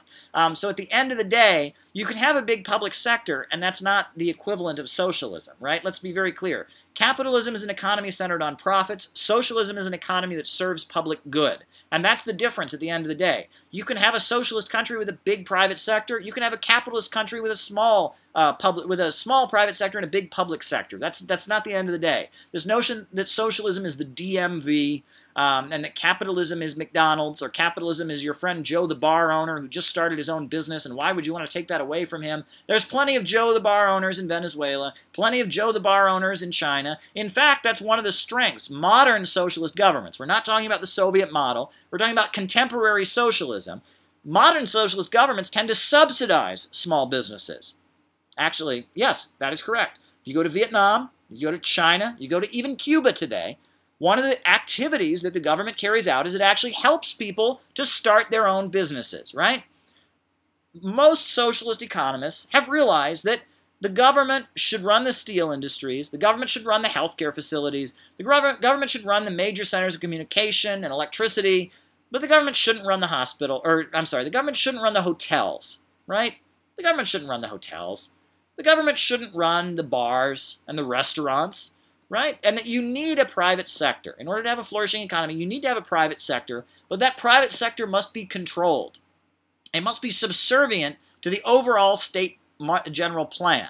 The means of production should be forced to function for the good of society. But that doesn't mean that, that these, these means of production necessarily have to be government controlled, or government owned, I should say. They should be controlled by the government, but they should not be owned necessarily by the government. And that's, that's the difference. Um, but anyhow, enough about that. Um, you know, uh, I like doing this. You know, there's about 50 of you on here now. It's been hovering around 50 the whole time. Um, and actually, you know, I wrote a book on this very topic. Um, you ought to read my book. Um, if you haven't read it already, it keeps selling. I got to tell you, every time I get on there, I see that there's another copy, another few copies sold. I mean, this is a popular book. It's it's striking a chord. Getting rich without capitalism. Getting Rich Without Capitalism, this book I wrote. There's been reviews of it on Fort Russ. Uh, other people like it, and I talk about, you know, how I have a chapter on here about socialist billionaires and how there will be billionaires in, in a socialist society, and, and that's not contrary to the principles of socialism. I talk about, you know, why it is that China has, has risen. And I have essays in here about, about natural gas and the natural gas markets. I have essays in here against Ayn Rand and how uh, the kind of psychopathic ideology uh, that's being promoted by, you know, Randian objectivists is playing a role in the mass shootings in the USA. This book has really struck a chord. Everyone who reads this book tells me, you blew my mind, Caleb. You don't sound like anyone else. You sound unique. You have an understanding of, of politics, geopolitics, and socialism that is unique. I mean, this book is really, I, I got to tell you, it's striking a chord. People are reading it. Ah, crazy times going on here. You know, in this book I talk about Huey Long. Huey Long was a politician from Louisiana. And my whole life, people have said that Huey Long was a fascist. I've heard this. Huey Long was a fascist. If you look into Huey Long's life, Huey Long was not a fascist by any means. I mean, Huey Long, he began his political career fighting against the Ku Klux Klan, right? Um, in Louisiana politics, he, he, has, he had mentors who were in the Socialist Party. Um, he was elected to office, and he took action uh, to benefit the black community. The first black nurses were hired. The first black uh, black uh, government employees in Louisiana were hired because of Huey Long. Huey Newton, the founder of the Black Panther Party, he's named after Huey Long. He was born in Louisiana, and Huey Newton's father was such an admirer of Huey Long, as was so much of the black community. In fact, in Huey Long's Share Our Wealth movement, when he formed a mass political movement to back him up, uh, there were actually African American ministers who were leaders of the Share Our Wealth movement. Um, Huey Long, he led Louisiana. He, he provided so much, and he basically got to the point in Louisiana where the government had huge amounts of money and was controlling the economy. And Huey Long, you know, with the Share Our Wealth movement and all of that, he never called himself a socialist, right? And he had a debate with Norman Thomas, and he contrasted his Share Our Wealth program with Norman Thomas and the Socialist Party's vision. He never called himself a communist, but from Congress. He was opposing Standard Oil. He was challenging, he was basically an anti imperialist, uh, fighting against U.S. military interventions around the world. He took efforts to improve the life of the African American community share our wealth, share the wealth. He was using, you know, the government to control the economy of Louisiana, making huge strides. He built Louisiana State University. He built so many bridges and highways. He he wiped out illiteracy in the state of Louisiana. At that point, Louisiana, that was a U.S. state, huge amounts of poverty in the, you know, the, the rural south of Louisiana, the swamplands. He wiped out illiteracy in the state, um, and it was African Americans who largely were learning to read in, in many parts of the, the state. Um, and, you know, Huey Long is widely loved, and when they tried to topple him, uh, they compared him, the, the Ku Klux Klan and these other groups that tried to topple him, actually compared him to Abraham Lincoln and to the Northerners and to the to the Union during the Civil War. I mean, everyone who attacked Huey Long was attacking him from the right. Um, and Huey Long, Huey Long was a progressive. And he, he was a, a socialist. He didn't call himself that, he, but he his program was share our wealth. He controlled the economy in Louisiana That was dual power, if we've ever seen it. What Marxists like to call dual power. Look at the situation in Louisiana. You have to remember, in Louisiana in the 1930s, he was in office from 1928 to 1935 when he was assassinated, the Communist Party really had no presence. So for him to announce that he was a communist would, would be kind of a, a silly thing to do. Uh, but Huey Long was ex exercising popular power. Now, PAB, I don't know who PAB is, P-A-B, is asking me, Caleb, do you, are you, do you call yourself a Marxist-Leninist? That's a tough question because here's the thing. I study Marx and Lenin. I read Capital. I've studied Marx. I, I consider myself to be more of a true follower of the ideas of Marx and Lenin than most of the people running around saying they're Marxist-Leninists do. At the end of the day, however, if I were to say, get up and say I'm a Marxist-Leninist, that means to a lot of people, they hear that and they think, oh, this guy wants to restore the Soviet Union. Well, the Soviet Union's never coming back, folks, and, and that kind of politics is not coming back. I study Marx and Lenin. I draw a lot from Marx and Lenin. I consider myself to be more understanding of Marx and Lenin's ideas than, than most of the people running around invoking them are. So, do, eh, do, am I still a Marxist-Leninist? I'm a Marxist and a Leninist in the same sense that I'm a Lincolnist, in the same sense that I'm a Rooseveltist, in the same sense that I'm a Chavista, in the same sense that I'm a Xi Jinpingist, in the same sense that I am a um, that I am a, a Baathist, in the same sense that I am a um, a Christian socialist. I, I think we should study all of these leaders and we should understand all of their ideas. I, I tell people that I am a 21st century socialist and I am an anti-imperialist to my core and and I am non-denominational. I don't I don't you know it was a silly thing. I remember you know these groups uh, you know these groups will uphold you know I remember when I was I was first getting into politics I remember there were so many of these Marxists that I knew that the only revolutionaries they would support in any corner of the world were the the Communist Party of Nepal Maoist you know, because they were Maoist, right? And they would support the Communist Party of Nepal Maoist. And then I remember what happened. The Communist Party of Nepal Maoist, uh, there was the fight, they brought down the king, they entered a coalition government, they won. Prachanda became the leader, the Communist Party of Nepal Maoist won. And so what did all these communists do that said that they were the only ones they support? At that point, they denounced them. Oh, they sold out, they're traitors. It was just complete and utter silliness right? And and and that that was a moment that was kind of key for me. I think we should learn from all the forces around the world that have tried to build socialism, all the forces that are that are fighting against Western capitalism, fighting for for justice. We can learn from all of them. I think we should learn from all of them and blindly copy and and dogmatically obey none of them, right? Were Marx and Lenin wrong about some things? You betcha, right? Marx supported the British colonization of India. Did you know that? I bet you didn't know that. Marx said that Britain colonizing India was progress. That's what he said. And he said, yes, they're doing all these horrendous crimes and all that, but this is progress. They're going to bring capitalism to India. India will be able to, to industrialize and become a modern capitalist country. Well, that's wrong. That's absolutely wrong, right? What the British did was hold back development in India. They burned down the textile mills. They prevented India from industrializing. The British kept India in a state of chronic underdevelopment. So Marx, when he said that the British colonizing India was progressive, he was wrong. And when Marx said that, that the war with Mexico, when the USA seized Texas and, and Arizona and Southern California from Mexico, when that was a good thing, he was wrong. That was a war for slavery. That was a war to expand slavery and to expand the power of the slaveocracy in the United States. Lincoln was against it. Uh, um, all the progressives in the United States were against the, the Spanish-American War, or the Mexican-American War. But Karl Marx, he thought it was right, because Marx, there's another example of Marx being wrong, right? And, and Marxists since then have denounced it. Lenin wrote a whole book, Imperialism, explaining about how Karl Marx, basically his assessment of how the capitalist market related to the rest of the world, how capitalism in Europe functioned, that it was wrong, right? Marx said that all nationalism was inherently reactionary, that anyone who fights for their nation is, is a reactionary. And then towards the end of his life, even Marx says Marx was wrong. He says, look, the Irish people, he writes, they're fighting for their independence, not on the basis of workerism, not on the basis of, of class struggle. They're saying that as Irish people, they were right to fight for their liberation. And you know what? Jenny Marx, Karl Marx's daughter, actually started wearing a crucifix around her neck because the way the British were justifying their atrocities against the Irish people, my people, the way that the British were justifying it was in the name of anti-Catholicism. right? That they were persecuting the people of Ireland, saying, well, these people are Catholic, therefore they don't deserve to have human rights. So Karl Marx's daughter started wearing a crucifix around her neck, the symbol of the Roman Catholic Church. Because Marx realized that his position that all nationalism was inherently reactionary was wrong, right? Marx was wrong.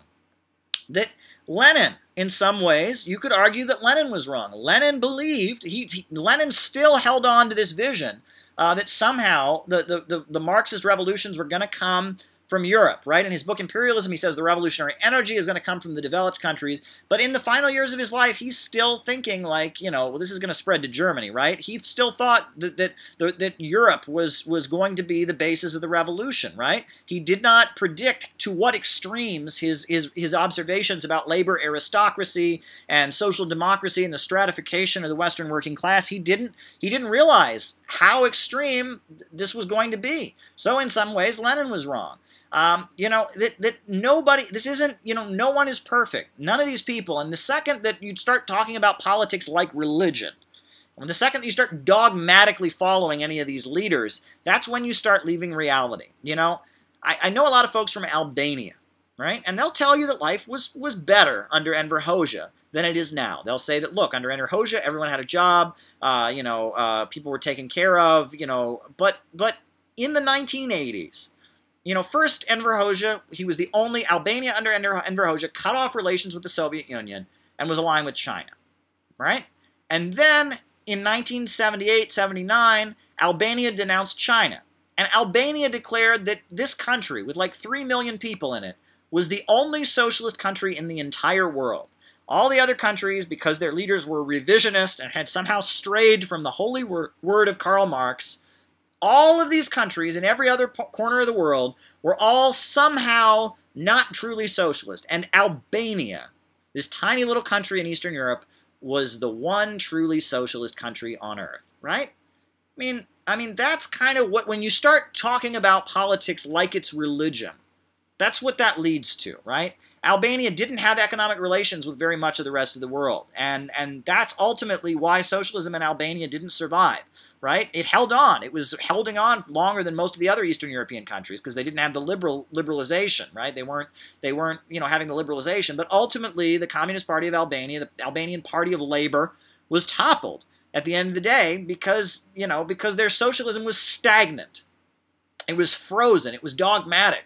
And ultimately, it couldn't survive. So after Enver Hoxha's death, and after, I mean, they didn't have any, I mean, the final years, the economic policies they had in the final years, they had cut themselves off from the rest of the world. I learned a lot from reading the history of the Party of Labor of Albania. It's a very good book, and you learn a lot about tactics and how they were able to turn the Nazi invasion of Albania. They were able to basically turn that into a revolution. That at the time of the of the Nazi invasion of Albania, at that time, the Communist Party of Albania was like 30 people. And by the end of the war, they had taken power and how they had utilized, you know, the Popular Front and they had polarized the country and mobilized. They were always one step ahead of the liberals that were fighting the Nazis. Uh, they were always one step ahead of them, always taking the struggle in a higher level. You can learn a lot from Enver Hoxha. And I'm, I'm telling you that I'm, I'm criticizing Albania, but I'm also saying that I learned a lot from it right? That Enver Hoxha was a brilliant military tactician, and that the, the Labor Party of Albania they they were able to basically turn the Nazi invasion of a feudal country because they had the Zog, the king, uh, you know, who was the the Zog, and that was his title. They had a king. It was a feudal country, half Muslim, half Christian, and they were able to turn that into a revolution with a, with a party of like 30 people and next thing you know they're they're leading the country by the time the Nazis are fleeing right? I mean that that shows a level of tactical brilliance. So there's stuff that you can learn from Enver Hoxha we should learn from Enver Hoxha. But at the end of the day, this notion that only Albania was the one true socialist country in the world,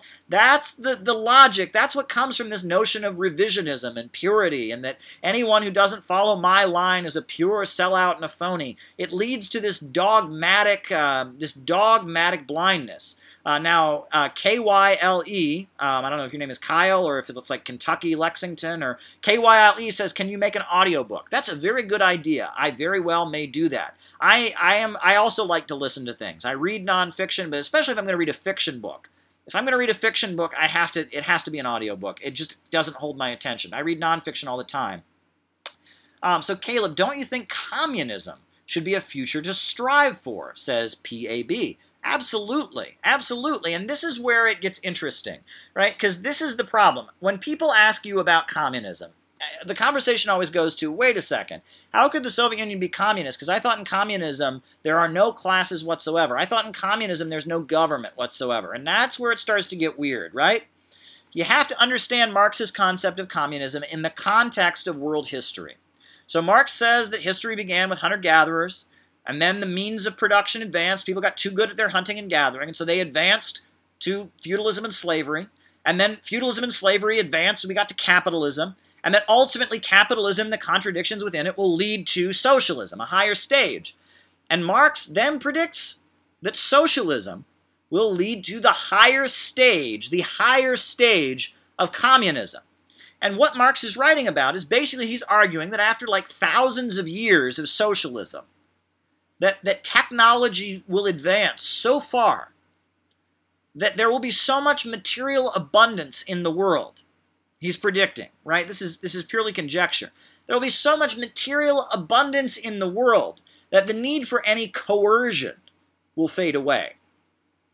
That's that's what Marx is saying. He's basically saying that that once we, we unleash the means of production from from the irrationality of capitalism, once we can just keep advancing technology as much as we want, once human intelligence is so broadly released that, that we can get to the point where there will be such a comfortable life and that people will have to do so little, that the amount of human labor that's required will be so minimal, um, that, that we'll get to the point that, that there will be no need for any real coercion.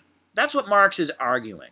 And I think he may be right. I'm not going to be here thousands of years from now. Well, maybe I will be, right? You never know. Maybe transhumanism and all of that, but I kind of doubt it. I kind of doubt I'll be here thousands of years from now. I think the chances are pretty slim to none, but you never know, right? You know, but uh, but regardless, you know, Marx is arguing that that eventually human history uh, will advance so far that that we will get to a society with so much material abundance that the need for any coercion will fade away, and that people can just kind of take what they need and do what they feel like doing right? And it's this such a high stage of civilization.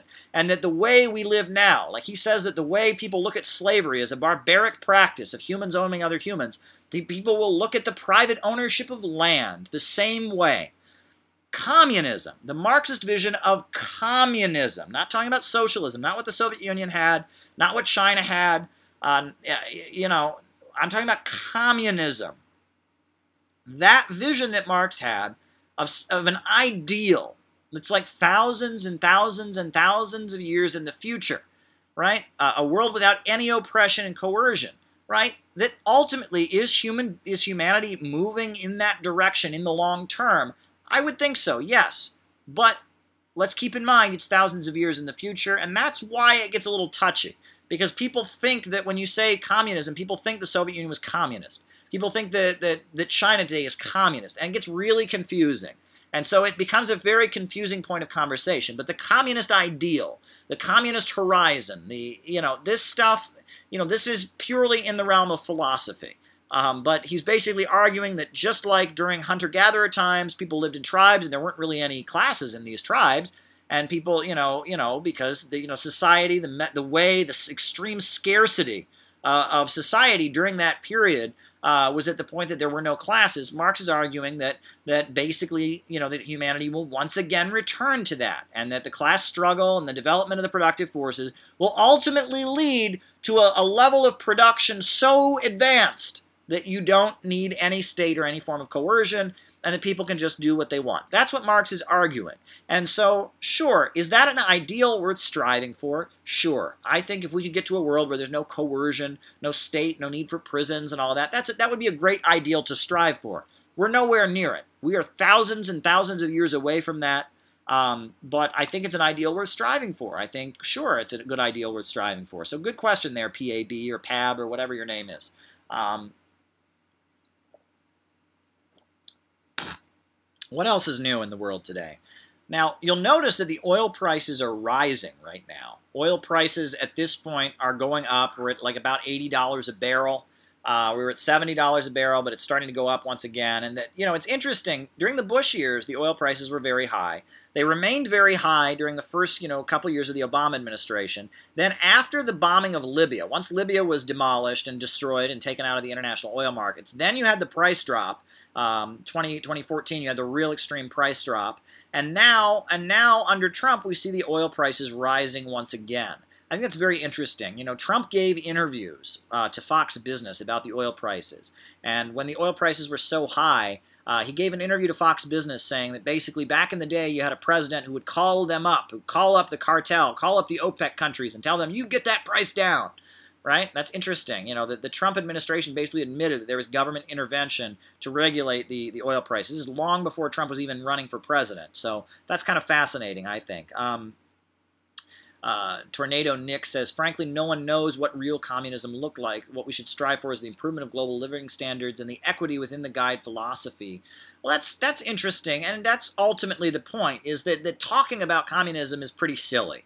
Um, you know, when when Karl Marx wrote his 1848 uh, manuscripts, in those manuscripts, when he was talking about communism, uh, he basically he said it was it was it was it was just kind of daydreaming he wasn't talking about any concretes. You know, somebody living in hunter-gatherer civilization in caves that are hunting and gathering and going around in tribes of 30 or 40, uh, those folks, you know, no matter how hard they daydreamed, I can guarantee you they can't imagine a life in Brooklyn, New York in 2018. All right, and us talking about communism is us talking about something that's so far beyond our grasp um, that that I, I, I just think it's almost kind of silly. Um, so yeah, I mean, I, I, I, draw a lot from Marx and Lenin. I think Marx and Lenin were wrong about a lot of things. I think they were also right about a lot of things. And I think that that's how they should be looked at as thinkers and people that are trying to make a better world, right? They were they were they were people that were trying to make a better world. I mean, and Marx was an organizer and an activist, and that gets forgotten quite a bit. You know, Marx was key in the fight of solidarity against slavery. He was organizing textile workers in Britain to have wildcat strikes and refuse to work with cotton picked by slaves. He organized the, the International Working Men's Association, the first international, and that, that people think of Marx as just this pointy-headed intellectual. When Marx was young, uh, he was in the German Revolution of 1848, and he and Frederick Engels were running around the woods with muskets and guns like Che Guevara. I mean, Marx was an activist and an organizer, and his writing very much served uh, the purpose of um, uh, very much served the purpose of, of guiding his activism. Um, and I think that, that that's something that gets lost. Um, uh, and there you go. Um, but a lot, a lot going on here. You know, uh, all this debate about socialism in the United States, all these people saying, well, Venezuela had hardship in the last three years, um, and they put onto that, they've always had hardships, and then they put onto that, and that's all because of socialism. That's an absurd argument, and it drives me nuts. And then the response people have, well, Denmark and Sweden, oh, lordy. You know, the terms of discourse are, I mean, it's lost. The actual Marxist definition of socialism. Socialism is when society controls the means of production. That definition is lost. And the understanding that society controlling the means of production has been successful at, at raising uh, the level of productive forces, that's also been lost. And the conversation is just drastically off course. Socialism does work. Socialism is the reason that Russia and China are superpowers today. It's the reason that all over the world people know about Cuba and that Cuban doctors and volunteers are all over the world, that Cuban Cuba is teaching the world to read.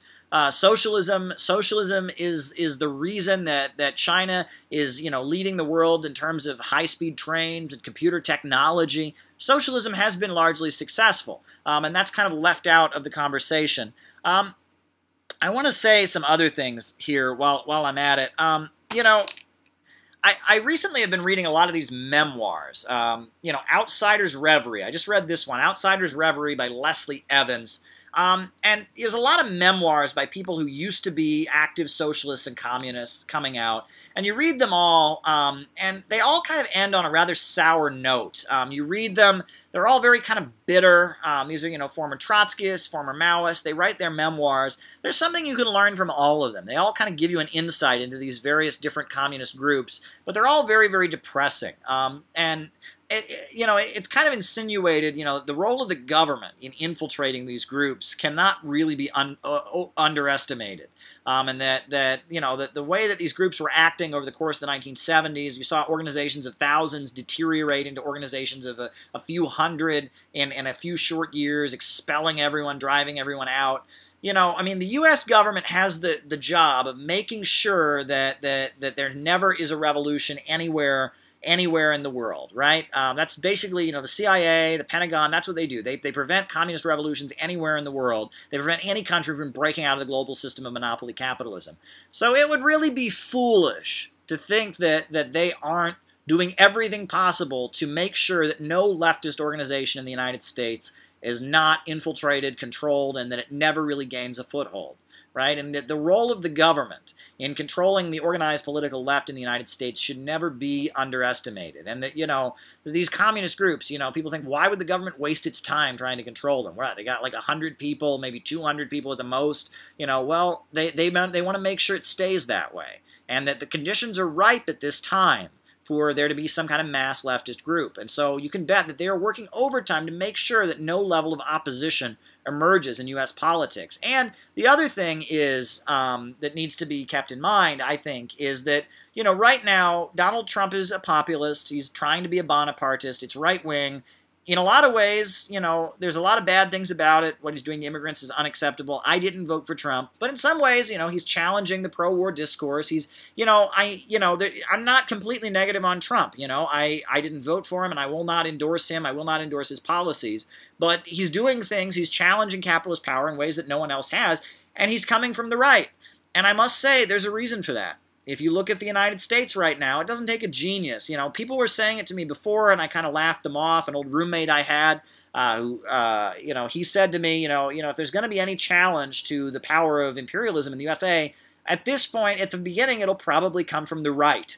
And he's right about that. I'd say he, he was absolutely right. I mean, look, I mean, the right wing has a mass following. In terms of, you know, you look at, at, at U.S. society, there is a mass base. These folks who were occupying uh, that, that bird watching building or whatever in Oregon and the Bundy Ranch and, you know, and the Montana Freemen and the sovereign citizens and movements like that, have a much bigger base than any socialist or communist group does in the USA. Now that's changing, right? With the rise of Democratic Socialists of America and and you know with the you know I mean the discourse and a lot of millennials are much more open to socialist ideas, but you know, since the 70s and 80s up into the 90s, the right wing has a much bigger mass base. Forces that, that are far right and are right wing in a way that the U.S. government won't tolerate. And that's the important thing, right? People that are just neoconservative Republicans are not a threat to the status quo.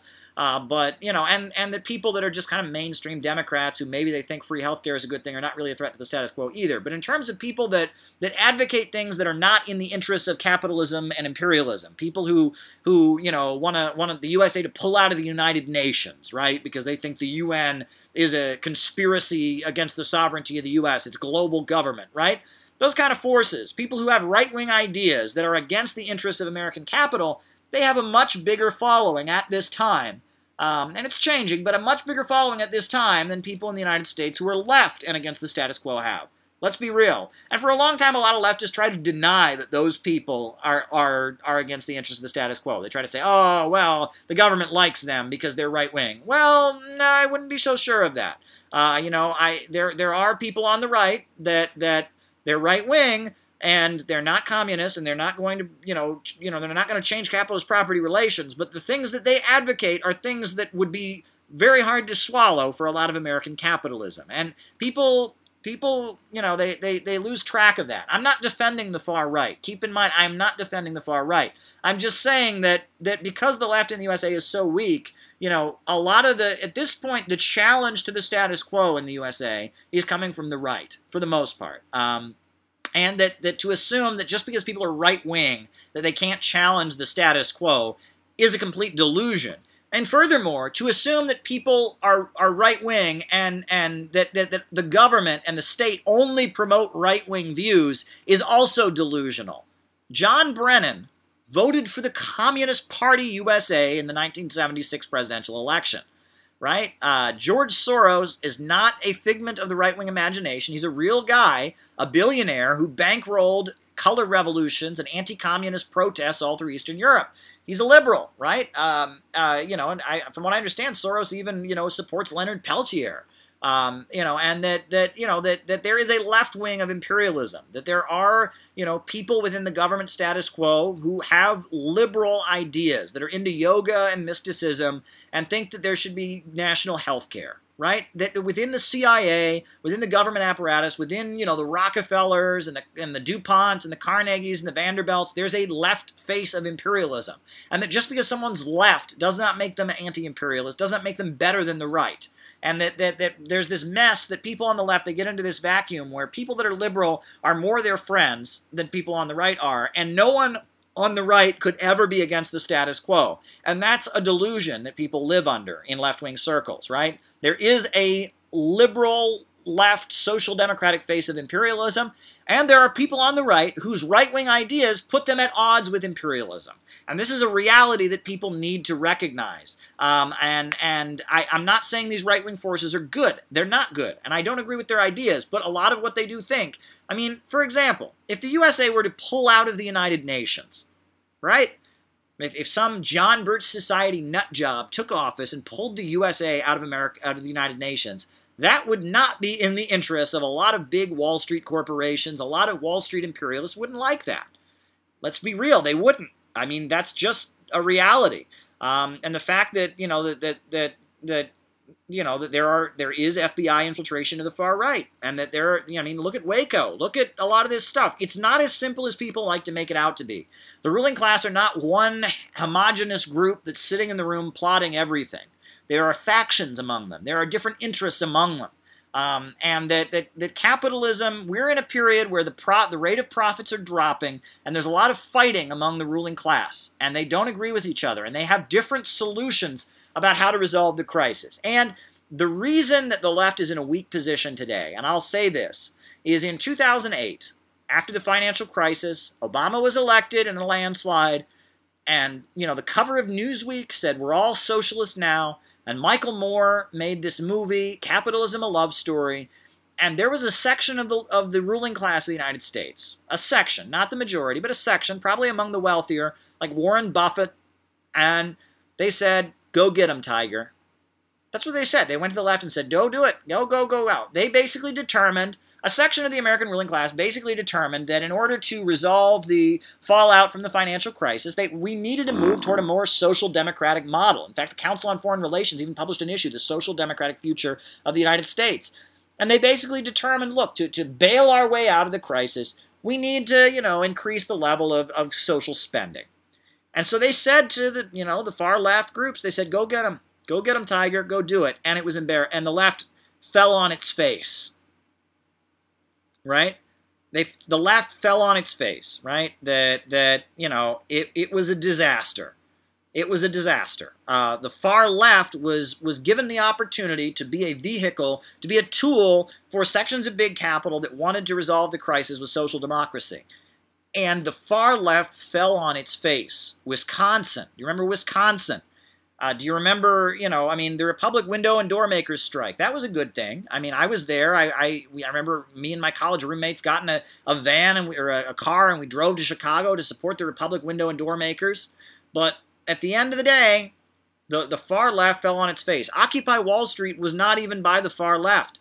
Uh, the far left didn't even do it. It was like New Forces, Adbusters magazine, and all that. It was like the far left didn't even do it because the far left was so weak, and that the far left they had their chance, and they didn't pull it off. Um, and and that just has to be said.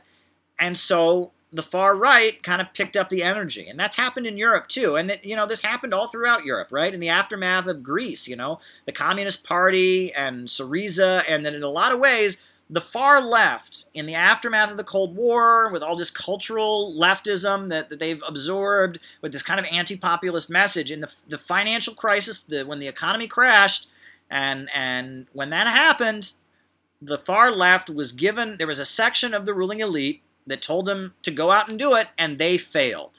And so sections of the ruling elite that are closer to the far right Uh, you know, I mean, this is this is the problem that we're in. Now things are changing. You'll notice that DSA, uh, out of nowhere, DSA has kind of risen to become more powerful. Jacobin Magazine, and you know, there's a section of American Capital that is trying to do this Warren Buffett liberal social democratic solution once again. But but you know, we're living in the aftermath of the failure of the left, the failure of the left to utilize the financial crisis of 2008 2009 right? The, the fact that the, that the organized political left, the socialist and communist groups, didn't know what to do when a section of the ruling class was was telling them to unleash themselves. Um, you know that that has to be said. That has to be said. And that, that that now there is utter confusion because basically the entity that calls itself the left was pulled apart over the course of the 20, 20th century that that you know that, that within the left you have populism and anti-populism. You have this section that wants chaos and revolution and destruction, a section that wants order and stability, and that both of them were together and that they were pulled apart. Um, and that basically now the forces that want order and stability and populism, you know, around the world have become more right wing, and the forces on the left that want chaos and destruction and protest have become co-opted tools of imperialism, um, and, that, and and it's very complicated, right? And so the entity known as left during the 20th century no longer is is homogenous and it's basically been pulled apart. And so now you know governments around the world that are anti-imperialist and are fighting to build up planned economies tend to be more conservative as defenders of order and stability. Meanwhile forces around the world that want revolution and want to battle against injustice and behead every last king most of them are aligned with imperialism right now. Um, and so it's it's a complete mess. Um, and we're we're living in a strange period. I'm working on a book right now. I'm working on a book right now. Um, I'm not going to say too much about it, but most of the writing that I do, like, you know, the, the, Getting Rich Without Capitalism and all of that, these are just kind of essays that I've written. But I'm working on a book right now um, that, that will kind of, you know, talk about all of this uh, in a way that, that no one else is really talking about this. Because I feel like we're at a weird political turning point. Uh, the entity that called itself the left throughout the 20th century no longer really exists. And we're in a weird political moment, and that there are some key points of clarification that need to be made. And I'm working on a book. Uh, I don't want to say too much about it, but it'll be a new book, and I'm hoping. Uh, I mean, it'll be it'll be interesting. I don't usually write this way. I usually write articles and essays, but this is going to be something completely different. I've written a lot of it already, but you know, I'm doing a lot of revisions, and it's it's kind of a, a long-term project. But if you're interested in socialism, uh, what I come up with will definitely surprise you will definitely surprise you because we are in a period where none of the old rules seem to make any sense. The political compass is broken. No one can tell which way is left, which way is right. Um, we're in a state of political confusion, and I don't think we have to be. I think there's a potential for things to drastically change.